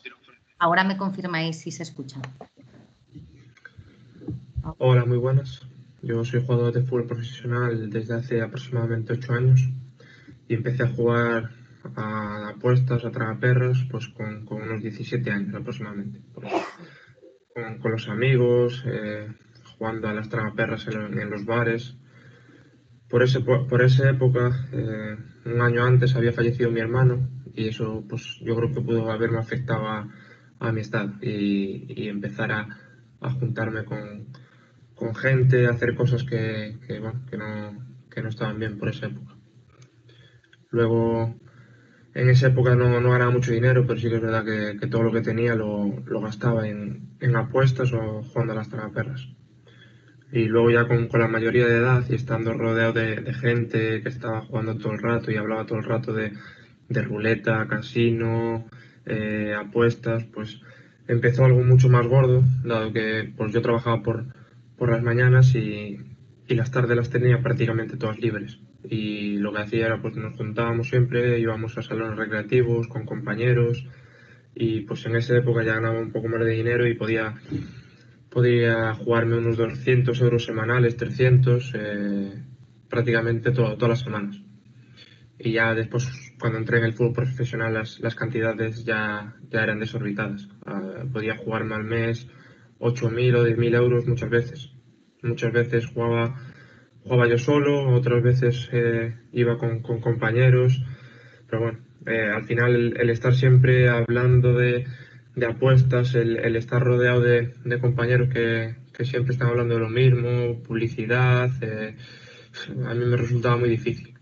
Y hablando de la publicidad, pues yo creo que los deportistas, deportistas y no deportistas, la gente famosa que, pues que, que publicita casas de apuestas o o otro tipo de casas, pues eh, me parece que muchísima gente, pues eh, si, una persona admira a alguien, a un famoso, a un jugador de fútbol, pues y ven que publicitan algo, pues la gente, la gente va a jugar, va a querer hacer lo que, lo que hace esa persona a la que admira, ¿no? Y yo creo que pues no está bien y, y, deberían de cambiarlo, vamos, porque al final, eh, por poner un ejemplo, si imagínate Cristiano Ronaldo, pues eh, usa unas botas blancas y alguien que, el, ídolo de él es Cristiano Ronaldo, pues ¿qué va a hacer? ¿Comprarse las botas blancas de, de Cristiano? Pues lo mismo es si si, si, si, anuncia una casa de apuestas, pues ¿qué hace? Pues muchísima gente pues va a caer y va, va a acabar jugando y, yo creo que no está bien porque yo lo he pasado muy mal, ahora gracias a Dios es, eh, llevo cinco meses sin, sin, jugar, estoy, estoy muy bien, estoy trabajando con, con Sara y la verdad que, que estoy encantado, estoy encantado con ella, con el tratamiento, con con cómo me, me ha ayudado a, ver las, las, cosas, a trabajar en mis pensamientos y, es algo de lo que estoy muy, muy orgulloso y muy contento y yo creo que, que, es importante darse cuenta, darse cuenta cuando, cuando uno está mal y, y, y que tener la ayuda necesaria para, para, poder salir de ahí, porque yo he estado en, en un pozo muy, muy gordo. Así que nada, muchísimas gracias a todos. Muchas gracias, Sara. Eh, sí. Gracias por, el vídeo y lo, sumaremos al, vídeo eh, que sacaremos de, estas jornadas. Yo creo que es muy potente un testimonio como, este, este chico. Eh, si os parece, seguimos con, preguntas. ¿vale? Para Paco, querían preguntar las dos velocidades de, lo que serían tratamientos desde el desde, el sistema público y desde el sistema privado. Es decir, esto va a cambiar, el nuevo marco normativo va a cambiar la manera de actuar del sistema público y el sistema privado. Eh, esta pregunta para Paco. Bueno, eh, los dos sistemas tradicionalmente han venido subsistiendo. Incluso eh, eh, uno ha sido fuente de otro o al revés, aunque pensemos que lo privado no, no esté presente o ha estado presente a través de incluso de organizaciones al respecto. Eh, los tratamientos son los mismos, los que se hacen en uno o en otro, porque la evidencia científica nos lleva a utilizar unos tipos de tratamiento y no otros. La ventaja que obtienen algunos de los sujetos que es que la privada ofrece algunos horarios, tiempos o mayor seguimiento respecto a la pública o alguna de las ventajas. Eh, no por ello hay que despreciar y, pensar que donde se trate uno porque no sea público o bien porque sea privado y no sea público, sea peor o no el tratamiento. ¿Eh? Esto es así. Y para, para Cholis queríamos, eh, querían preguntar si la, de los tratamientos que, se realizan en, asociaciones o en clínicas eh, sale información eh, útil para hacer, para hacer tratamiento de esos datos y conseguir información que ayuden en eh, hacer mejor el, tratamiento preventivo o a protegernos mejor con la ley existente, si esto se da, es decir, estáis desde la universidad tenéis suficientes datos a la hora de, tomar decisiones? Eh, ¿Os llegan datos desde el, desde el sistema de recogida de datos de público? Sí, sí, por supuesto. Y además esa es la, esa es nuestra, nuestra función, una de nuestras funciones. Precisamente acabamos de publicar un manual en la editorial Pirámide, que es un, una editorial de referencia en psicología, sobre tratamiento psicológico de la adicción al juego online. Eh, y eso ha sido gracias, eh, digamos, a la, al, a la ayuda, a la colaboración de 10 entidades en las cuales se han intervenido. Nosotros lo hemos pilotado desde la Universidad de Valencia. En la unidad de investigación hemos trabajado con ocho pacientes, pero ha habido otras tantas en Patín, por ejemplo, que es de la comunidad valenciana, en Vía Libre, que es de Alicante también, pero en otras eh, de Extremadura, Tabal, ANAT eh, de Barcelona, etcétera. Y, con eso, em, aunque es una es un, eh, bueno, el trabajo ha sido una, hacer una guía clínica en base a protocolo para el tratamiento. Esa es la, nuestra experiencia más reciente, pero evidentemente eh, ese es el camino, ¿no? como ha comentado antes la, delegada del gobierno, la evidencia científica. No podemos ofrecer eh, tratamientos que no estén contrastados científicamente. No sería ético. Hay que, estamos trabajando con un sector de la población, el trastorno de juego es un trastorno mental y debe, y debe utilizarse metodología pues, científica. En, ese caso, claro que sí. Eh, y bueno, todo es, siempre hay, eh, se pueden hacer más cosas, ¿no? Pero ese, debe ser el camino, efectivamente. Eh, Adrián Puchades eh, nos pregunta, según se ha comentado acerca de la nueva normativa de los 800 metros de centros educativos, ¿podemos decir que se plantea eliminar las casas de apuestas físicas en el 2030? no, no, pone a quién dirige la pregunta.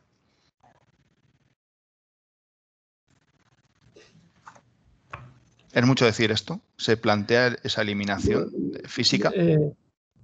Eh, yo, no creo que esté pensado para eliminar físicamente ninguna, ninguna casa de apuestas. El juego es legal, sino para, sino para establecer, eh, digamos, eh, mecanismos preventivos de, centros no solamente educativos, en, el caso de la ley valenciana, incluso barrios vulnerables, etcétera, pues también estarían incluidas las normativas de, distancia, de distancia entre salas de apuestas y salas de juego eh, de centros educativos o entre salones de, eh, entre sí. Lo que, lo que es evidente en la literatura científica es que la disponibilidad incrementa el riesgo de adicción, no solo en juego, en cualquier adicción.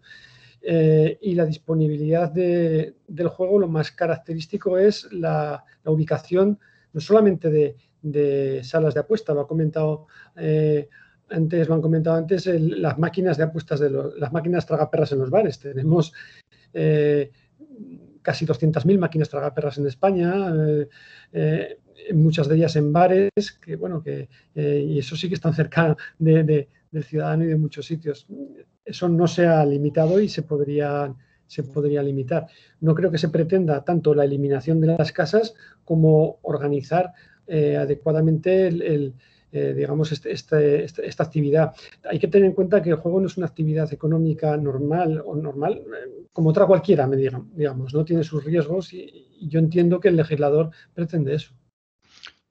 Eh, para Alejandro, hablamos de juego, pero ¿hay correlaciones, según vuestra experiencia o tu olfato, entre consumo de juego patológico y, y sustancias? Eh, y si la tenéis identificada por franjas de edad, por sexo, por género, perdón. Bueno, sí, yo creo que hay algo más que, aunque quizá este tema los expertos en salud lo pueden tratar mejor que yo, ¿no? Pero sí, evidentemente, digamos que hay una serie de, elementos en el repertorio del perfil del jugador que, que, se ponen de relieve de una forma muy clara, ¿no? Yo me refería antes a uno, que es, por ejemplo, la relación entre eh, la actividad de juego y, la, solicitud de créditos rápidos, por ejemplo, ¿no? que genera además un problema sobrevenido de sobre, sobreendeudamiento en población vulnerable y ahí hay una correlación muy clara que además hemos podido establecer. ¿no? Dentro del tema del consumo de, de, de, la adicción eh, por sustancia, también sabemos que existe una, una tendencia al policonsumo ¿no? en determinados segmentos de, los consumidores ¿no? Eh, y que se correlaciona el consumo de determinadas sustancias con otras, en el caso del alcohol, por ejemplo, con otras sustancias. ¿no?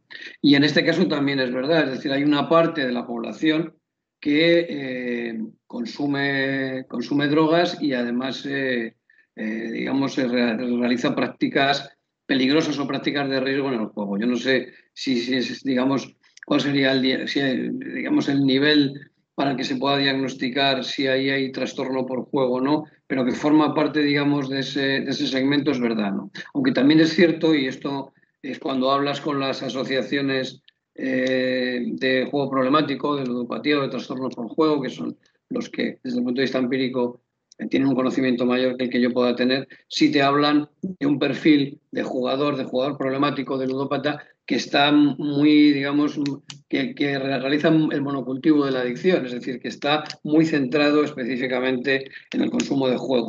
Generalmente gente que tiene un perfil de edad mayor y luego, desde el punto de vista general, pues es evidente que donde hay una mayor penetración del alcohol, poblaciones de mayor edad que son jugadores, el alcohol tiene un peso mayor y entre la gente más joven otro tipo de, sustancias que no están, digamos, en el menú, en el menú de consumo de los, eh, de los usuarios más jóvenes. Aprovecho un poco para decir una cosa en relación a lo que antes se ha señalado sobre el tema de, la, sobre el tema de, las loterías. Sin entrar en las diferencias que puede haber desde el punto de vista de la adicción que generan, que también los, mis compañeros de, webinar pues saben mucho más que yo, sí diría que aquí hubo un, problema eh, polémico y es que cuando se aprobó el Código de Autorregulación del juego, ni entró Loterías y Apuestas del Estado, ni entró la ONCE. Eh, en la actualización del juego ya, se, ya entraron, digamos, estos dos operadores de juego que mueven volúmenes importantes de dinero y que curiosamente no estaban ahí. Entonces había restricciones, por ejemplo, en el argumentario publicitario que estaban afectando al resto de operadores de juego y que no estaban afectando ni a Loterías y Apuestas del Estado ni a la ONCE. ¿no? Y tal y como ha quedado ahora el Real Decreto, ah, están ya comprendidos en esa regulación, aunque también es verdad, como he dicho antes, que se establecen diferencias. ¿eh? No es lo mismo la regulación que se ha establecido desde el punto de vista de la comunicación comercial para las loterías que, por ejemplo, para el resto de, prácticas online. Muy bien. Eh, eh, más preguntas. Eh, para Paco, eh, hablabas de coordinar, de, parlaves de coordinar criteris i revisar indicadors per a millorar el sistema d'atenció. Dos preguntes. Com va afrontar el sistema d'atenció eh, la incorporació de, o si, o si ja ho ha fet, no? Eh, el sistema d'atenció que està habituat a, a substàncies, eh, este, este repte d'atenció a, a ludopaties i si el, el que són els formularis de replegar, que repleguen les dades d'esta atenció primària es va a revisar eh, o, o hi ha aquest plantejament de revisió des, de, des del vostre servei? A veure, tra tradicionalment nosaltres hem vingut funcionant mitjançant un indicador de tractament. Este indicador de tractament està complementat per qualsevol professional que treballa en una unitat de conductes addictives quan rep el cas, fa el diagnòstic i, per tant, fa una notificació igual que se fa en cualquier altre tipus, diguem, d'enfermetat. Quan a uno li fa la prova de la sida o la prova de l'hepatitis i és positiu, notifica el cas igual. Nosaltres venim funcionant en aquest indicador durant moltíssims anys, més ja de 27-28 anys. Nosaltres érem l'única comunitat eh, a l'estat espanyol que notificava alcohol i també joc patològic no altres coses comportamentals que han vingut ara a l'albur de tota aquesta eh, mare magnum de la publicitat i de més. Per tant, en l'indicador se fixa clarament quan no complix criteris de diagnòstic eh, de xoc patològic i quan uno té o complix criteris de qualsevol altra patologia. Per tant, de l'indicador la reflega. El problema fonamental és que al voler intentar en un mateix indicador voler arreplegar altres conseqüències o altres tipus de diagnòstic es fa difícil, perquè les persones no arriben a la xarxa sanitària i, per tant, se distribueixen en una xarxa social, en una xarxa educativa i inclús en una xarxa familiar. Per tant, eh, des de sanitat, el que tenim és un indicador de tractament, que amb aquest de tractament tenim que funcionar. Fer nous protocols, fer nous formularis, conforme diu el, el qui pregunta, no és una cosa difícil. El problema no és fer el formulari. El problema és tindre a l'abast aquelles persones que van a notificar de forma qualificada i, i que estiguen dintre de la red pública, que això no existeix a dia d'avui. I que d'alguna forma han parat la normativa o la llei 1 de 2020 que ha fet la Generalitat i ho tindrà que desplegar a través d'un pla estratègic, on una de les parts fonamentals té que ser la recollida d'informació. Vinc a posar el cas el que ha passat ara en tot el tema de la Covid. Molts dels sistemes d'informació estaven preparats per altres enfermetats, no això. Uns utilitzaven formularis diferents i de més. És més fàcil avui identificar una persona per problemes de joc i certament en el 99% d'acceptaria que uno que té un problema de Covid o d'una enfermedad determinada. Fixem-nos la, la exactitud que tenen aquest tipus d'indicadors. perquè són les persones reiteradament quienes acudeixen a consulta i, per tant, els propis eh, eh, professionals són els que identifiquen la malaltia. Eh, fer un indicador soles de comportamentals té moltes dificultats a dia avui. Hauria que estudiar, no va ser una tasca fàcil, perquè intervenen moltes parts de l'administració i moltes parts de les organitzacions no governamentals o centres inclús privats que no, d'alguna manera, no notifiquen i no tenim coneixement d'ells. Per tant, és una cosa a tenir en compte de cara al desenvolupar la llei nostra del joc i en el pla estratègic que quedar ben clarament què és el que se vol arreplegar, en quin tipus de formulari i en què tipus de diagnòstics se tenen que aplicar. Molt bé. Eh, pregunta per a Choriz. Eh, en, estem parlant de, de formació. Eh, les persones que van a fer els tractaments de persones amb, amb ludopaties, tant en prevenció com en tractament, eh, estan preparades? Eh, quin, quines van a ser les fos de, de formació eh, a curt plaç per a aquestes persones?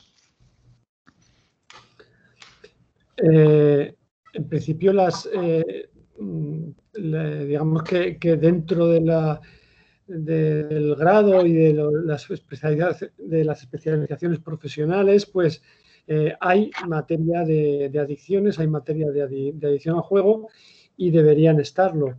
Eh, no obstante, pues todo aprendizaje es necesario, máxime, en,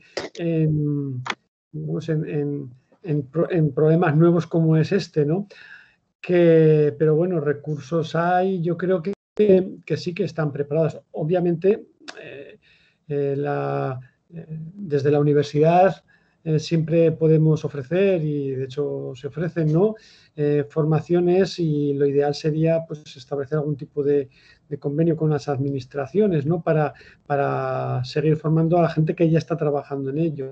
En principio yo creo que, que sí.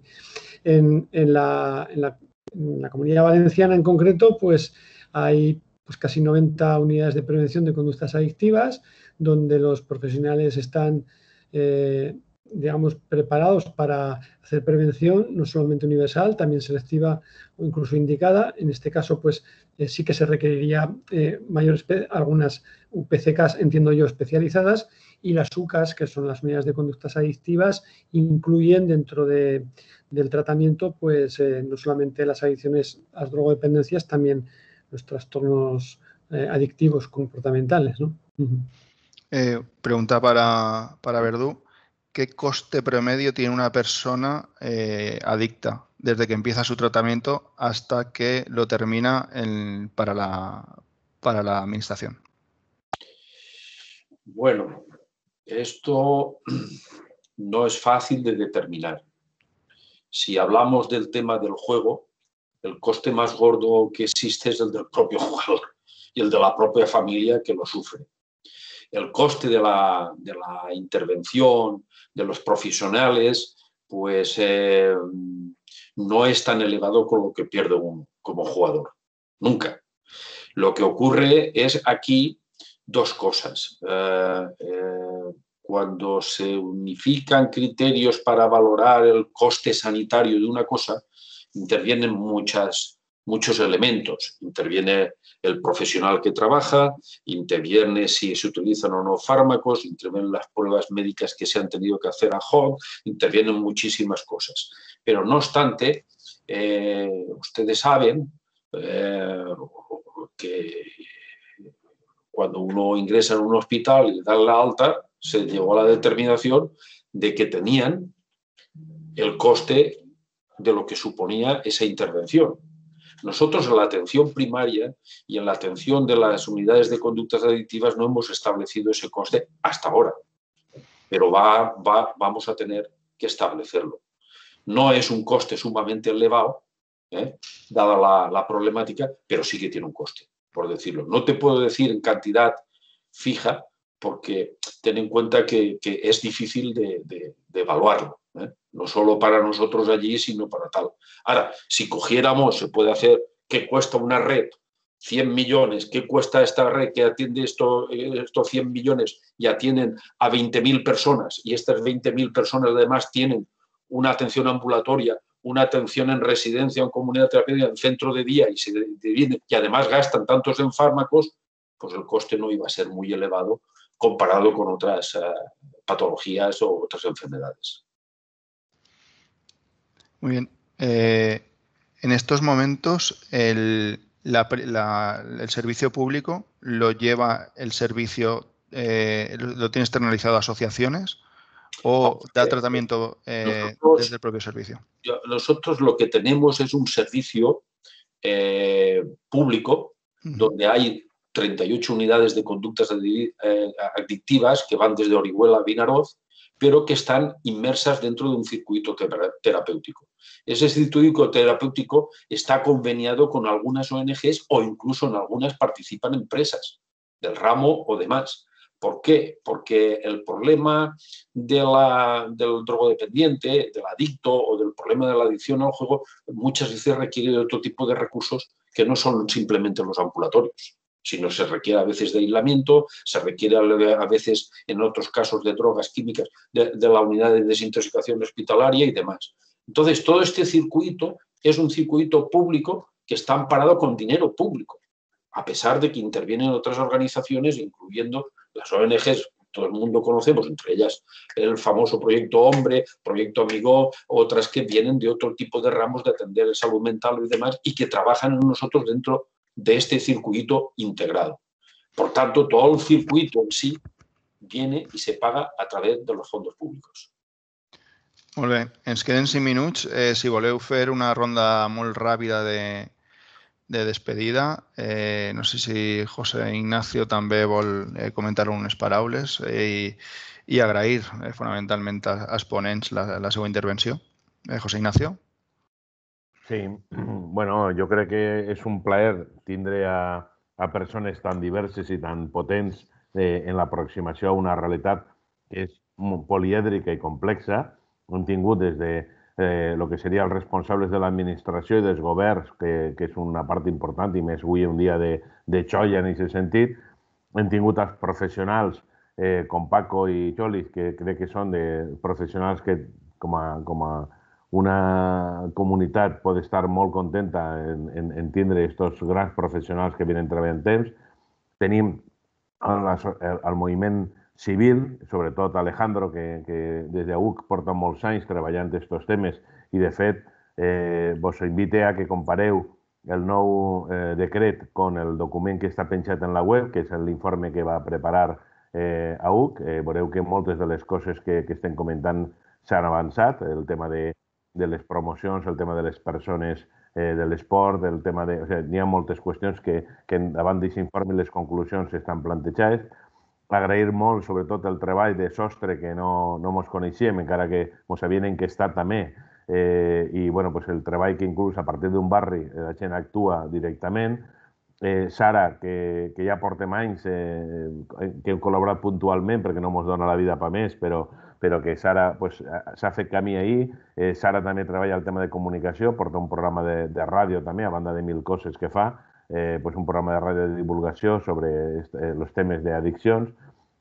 El treball, per suposat, que, que ara no n'hi ha un representant com a tal que ens ha donat recolzament, via Núria Portillo, que directora de la càtedra i professora d'estadística, que inclús algunes de les coses que comentàveu, com el seu alumnat, que està escoltant-nos en ocasions, ha fet inclús aquests temes de probabilitat que, que ens deia Mariano, és dir, que com lo impossible que és que te puga tocar algo i com t'enganyen i, i com te trampa, no? O, eh, per exemple, la eh, unitat, que no me recordo com se diu, d'infància i adolescència de la Universitat Politécnica, que també col·labora perquè són uns temes que, que estan ahí. No? Jo crec que entre tots i totes eh, bueno, pues estem conformant, llançar-vos la proposta de que apostem per tu està eh, en marxa. Esto es, pot ser una de les activitats primeres que hem fet en este projecte comú, que no n'hi ha, és una, una estructura horitzontal, que alguns el que fem és aportar la nostra energia, eh, temps, dedicació, eh, però molts eh, eh, ahir vos invitem i bueno, pues en, en Paco Verdú abans de l'estiu ja vam estar xerrant del, de la qüestió. Eh, eh, moltes vegades no tenim temps, però Dice Apostem per tu és una pàgina web que per una banda replega distints estudis, eh, crear sinergies, facilitar la col·laboració. Tinc que dir que no cabien més gent, però, per exemple, varen parlar eh, el mes de, de gener o febrer com Patim, que, que són una de les gent que, que porta una llarga trajectòria de Castelló, però també en València estan. N'hi ha molta gent treballant i, sobretot, eh, si podem parar en part el drama que suposa eh, una mostra que el que ens ha explicat Sara, d'aquest vídeo, però dir-vos que bueno, tots coneguem, eh, tant per lo, professionalment com inclús familiarment, algunes famílies desestructurades o con problemàtiques con el tema del xoc i com eh, lo que dia eh, també Alejandro, ell s'enganxe a eh, el diners fàcil o el diners que te apuren, que, te, que tens una piràmide eh, bestial. I també una part important, la part econòmica. Avui no ens donava temps, però sabeu que la llei valenciana ha sigut molt contestada per les, els empresaris que també fan lobby i que Alejandro pot dir que ha estat també reunit moltes vegades con aquest lobby, que també n'hi ha que reconèixer el seu punt de vista, però sempre l'interès del ben comú per damunt dels de, eh, els interessos econòmics també, encara que també han de viure en un sistema que no sigui un xoc patològic, perquè el xoc bueno, pues també ha de ser divertit, ha de ser pla de plaenter, però este tema de les apostes i l'esquema de valors és complicat. Más, más arroyo vos solte, però jo crec que això. Eh, I agrair... Eh, José Ignacio, José Ignacio, eh, sí per a, per acomiadar, és, justament ens ha arribat una pregunta que no volíem deixar fora perquè és un xaval que, que comenta que, que, bueno, que porta apostant eh, des dels 16 anys, que ha hagut temporades que no, no podia parar i que què pot fer eh, davant d'esta esta situació. No? Abans de que agafeu aquesta pregunta, que, que volia, és, seria interessant despedir-se amb no? perquè justament això el que vol és eh, que aquestes persones eh, poden, eh, tinguen solució. No?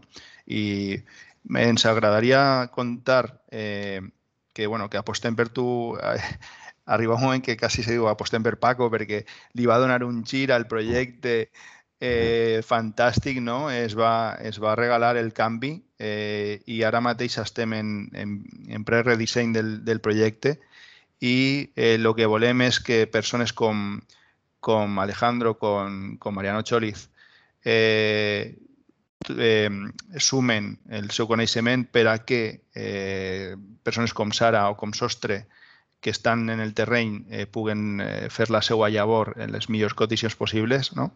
I d'això tindrem temps de, de parlar perquè això ha nascut d'aquestes converses amb Paco.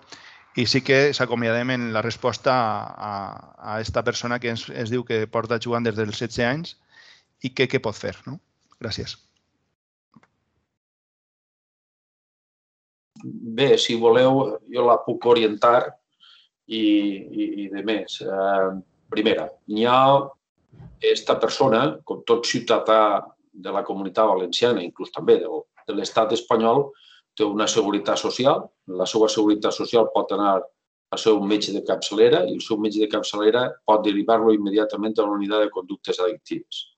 La unitat de conductes addictives tenim dos tipus, unes que treballen sobretot els conductes, com és el cas del joc, que no pertanyen a, al camp de la química ni, ni, ni de més, i moltes d'aquestes unitats, hi ha cinc o sis unitats que estan també especialitzades precisament en el joc i en l'alcohol, que és, per això es diuen unitats d'alcohologia. No obstant, això és el que li pertany a la red pública. També hi ha altres opcions de poder acollir a organitzacions o a, a centres privats que les persones, en moltes d'aquestes eh, mesures, decideixen per si mateixa posar part dels seus diners per a poder curar-se i no diners que va a apostar-se. Comprens? O sigui, mm, vincular eh, la decisió de la persona és que, tindre que és necessari que tingui un terapeuta, és necessari que tingui una orientació i és necessari que tingui un seguiment i un, i un diagnòstic clar. Eh? I aquestes són les opcions que n'hi ha. Jo voldria eh, dir una qüestió perquè jo crec que és molt important. També m'ha faltat dir que la gent d'ANAR eh, està col·laborant i, de fet, estan fent una prevenció i fent uns tallers, estem fent uns tallers per als centres educatius, dins de la complicat que és avui en dia treballar els centres educatius.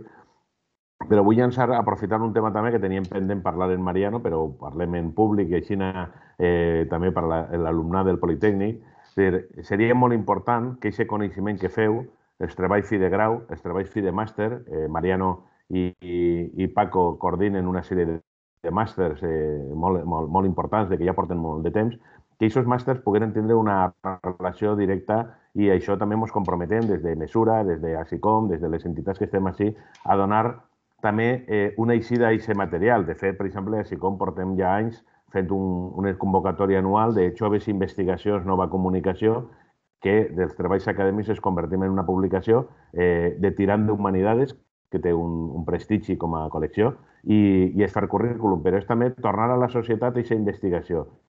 I vos llancem també la proposta de que orienteu el que sou professors o que sou alumnes que els treballs d'investigació, aquest treball fi de grau, eh, que pugui tenir relació amb això, eh, aquest treball fi de màster, eh, aquesta tesis doctoral, eh, poder-lo treballar també i, i donar constantment difusió. De, de fet, eh, Núria Portillo, que, que, que ha estat, gràcies a ella, el, el webinar, és una especialista i una ferma defensora de lo que és aprenentatge-servei, que és una línia molt interessant que està entrant de cada vegada més força en les universitats. És que mentre s'està estudiant, mentre se va, també se presta un servei a la societat. I, a més, eh, vos puc assegurar a l'alumnat que pugueu, esteu sentint-nos que és una forma d'avançar moltíssim en el coneixement i trobar-se un reforç molt gran i, a més, hosti, sentir útil les teues hores de cremar-te pestanyes que no sols per a un treball acadèmic per pa provar i deixar-lo en un calaix, sinó que estàs transformant i millorant la societat. Per tant, vos anime també, eh, i a Mariano sobretot, que és el que més està en el món acadèmic també, a veure com podem reorientar i inclús eh, nosaltres el que fem és difondre aquest treball eh, eh, i fer d'intermediaris o d'infomediaris con, con la gent de la, que fa la ciència. Y yo, yo, yo co cojo el testigo, me lanzo a la piscina y hablamos. Tenemos el correo electrónico, quedamos un día y virtualmente o con o, o, presencialmente con mascarilla, o pues eh, hablamos. Sí, sí. Nosotros, bueno, eh, Paco Verdú dirige un máster de, de, conductas adictivas y otra, otro también un, un posgrado en la, en la, Universidad de Valencia de, de juego, pues Hablamos, hablamos. Eh, Núria, eh, volies, eh, aprofites que acomiades tu i llances la pregunta esta de eh, que tenies des, de l'alumnat. I en això ja tanquem, eh? Això sí, sí, sí ara sí, ara sí. Bueno, pues moltíssimes gràcies a tots per aquesta sessió, com us heu regalat les orelles, perquè, perquè així hem après moltes coses. El nostre alumnat està, està així atenent a esta, a esta sessió perquè com fan un treball a l'assignatura que ja el meu company Jorge Martín i jo començarem a fer fa quatre anys, pensaven que era, era molt important el tema de la ludopatia, era un problema que començava a vindre ja nosaltres tenim, teníem fills jovens i pensaven que això tindrien que des del nostre, de lo que, des del lo que poguem, que poguérem fer, fer-ho, no? Entonces, emprenguérem un treball que fa el nostre alumnat sobre el tema de, de la ludopatia, no? Vinculat, per supost, a l'estadística, no? A, a l'esperança matemàtica que ha dit Mariano abans, a les probabilitats de guanyar algun xoc, però com que em fan la metodologia aprenentatge-servei, doncs ells també toquen altres punts, com per exemple el d'avui, no? la publicitat enganyosa que em tracta avui o, o, altres, o altres temes. No? Entonces, I com a colofó d'aquest treball, perquè és aprenentatge-servei, el que fan és anar a algun centre educatiu i contar-ho a altres jovens. Com a experts, penseu que comunicar de jove a jove, d'una persona jove a una altra, això eh, potencia la conscienciació? Entre els jovens o on cregueu que no té... No, és el mateix que comunica una persona de jove a jove que una persona major a una altra jove? Yo, si me permites, en relación a este tema y en relación a las adicciones en general, porque hay otro tipo de, proyectos, ¿no? como por ejemplo los que se refieren a drogas tu punto, ¿no? de mira, que, tiene que ver con, con, videoclips que hacen alumnos universitarios sobre el tema de la adicción a sustancias y también al juego. Yo creo que los mensajes horizontales para lo bueno y para lo malo son enormemente potentes. ¿no? Nosotros hemos estudiado a veces eh, la conversación sobre drogas en las redes sociales.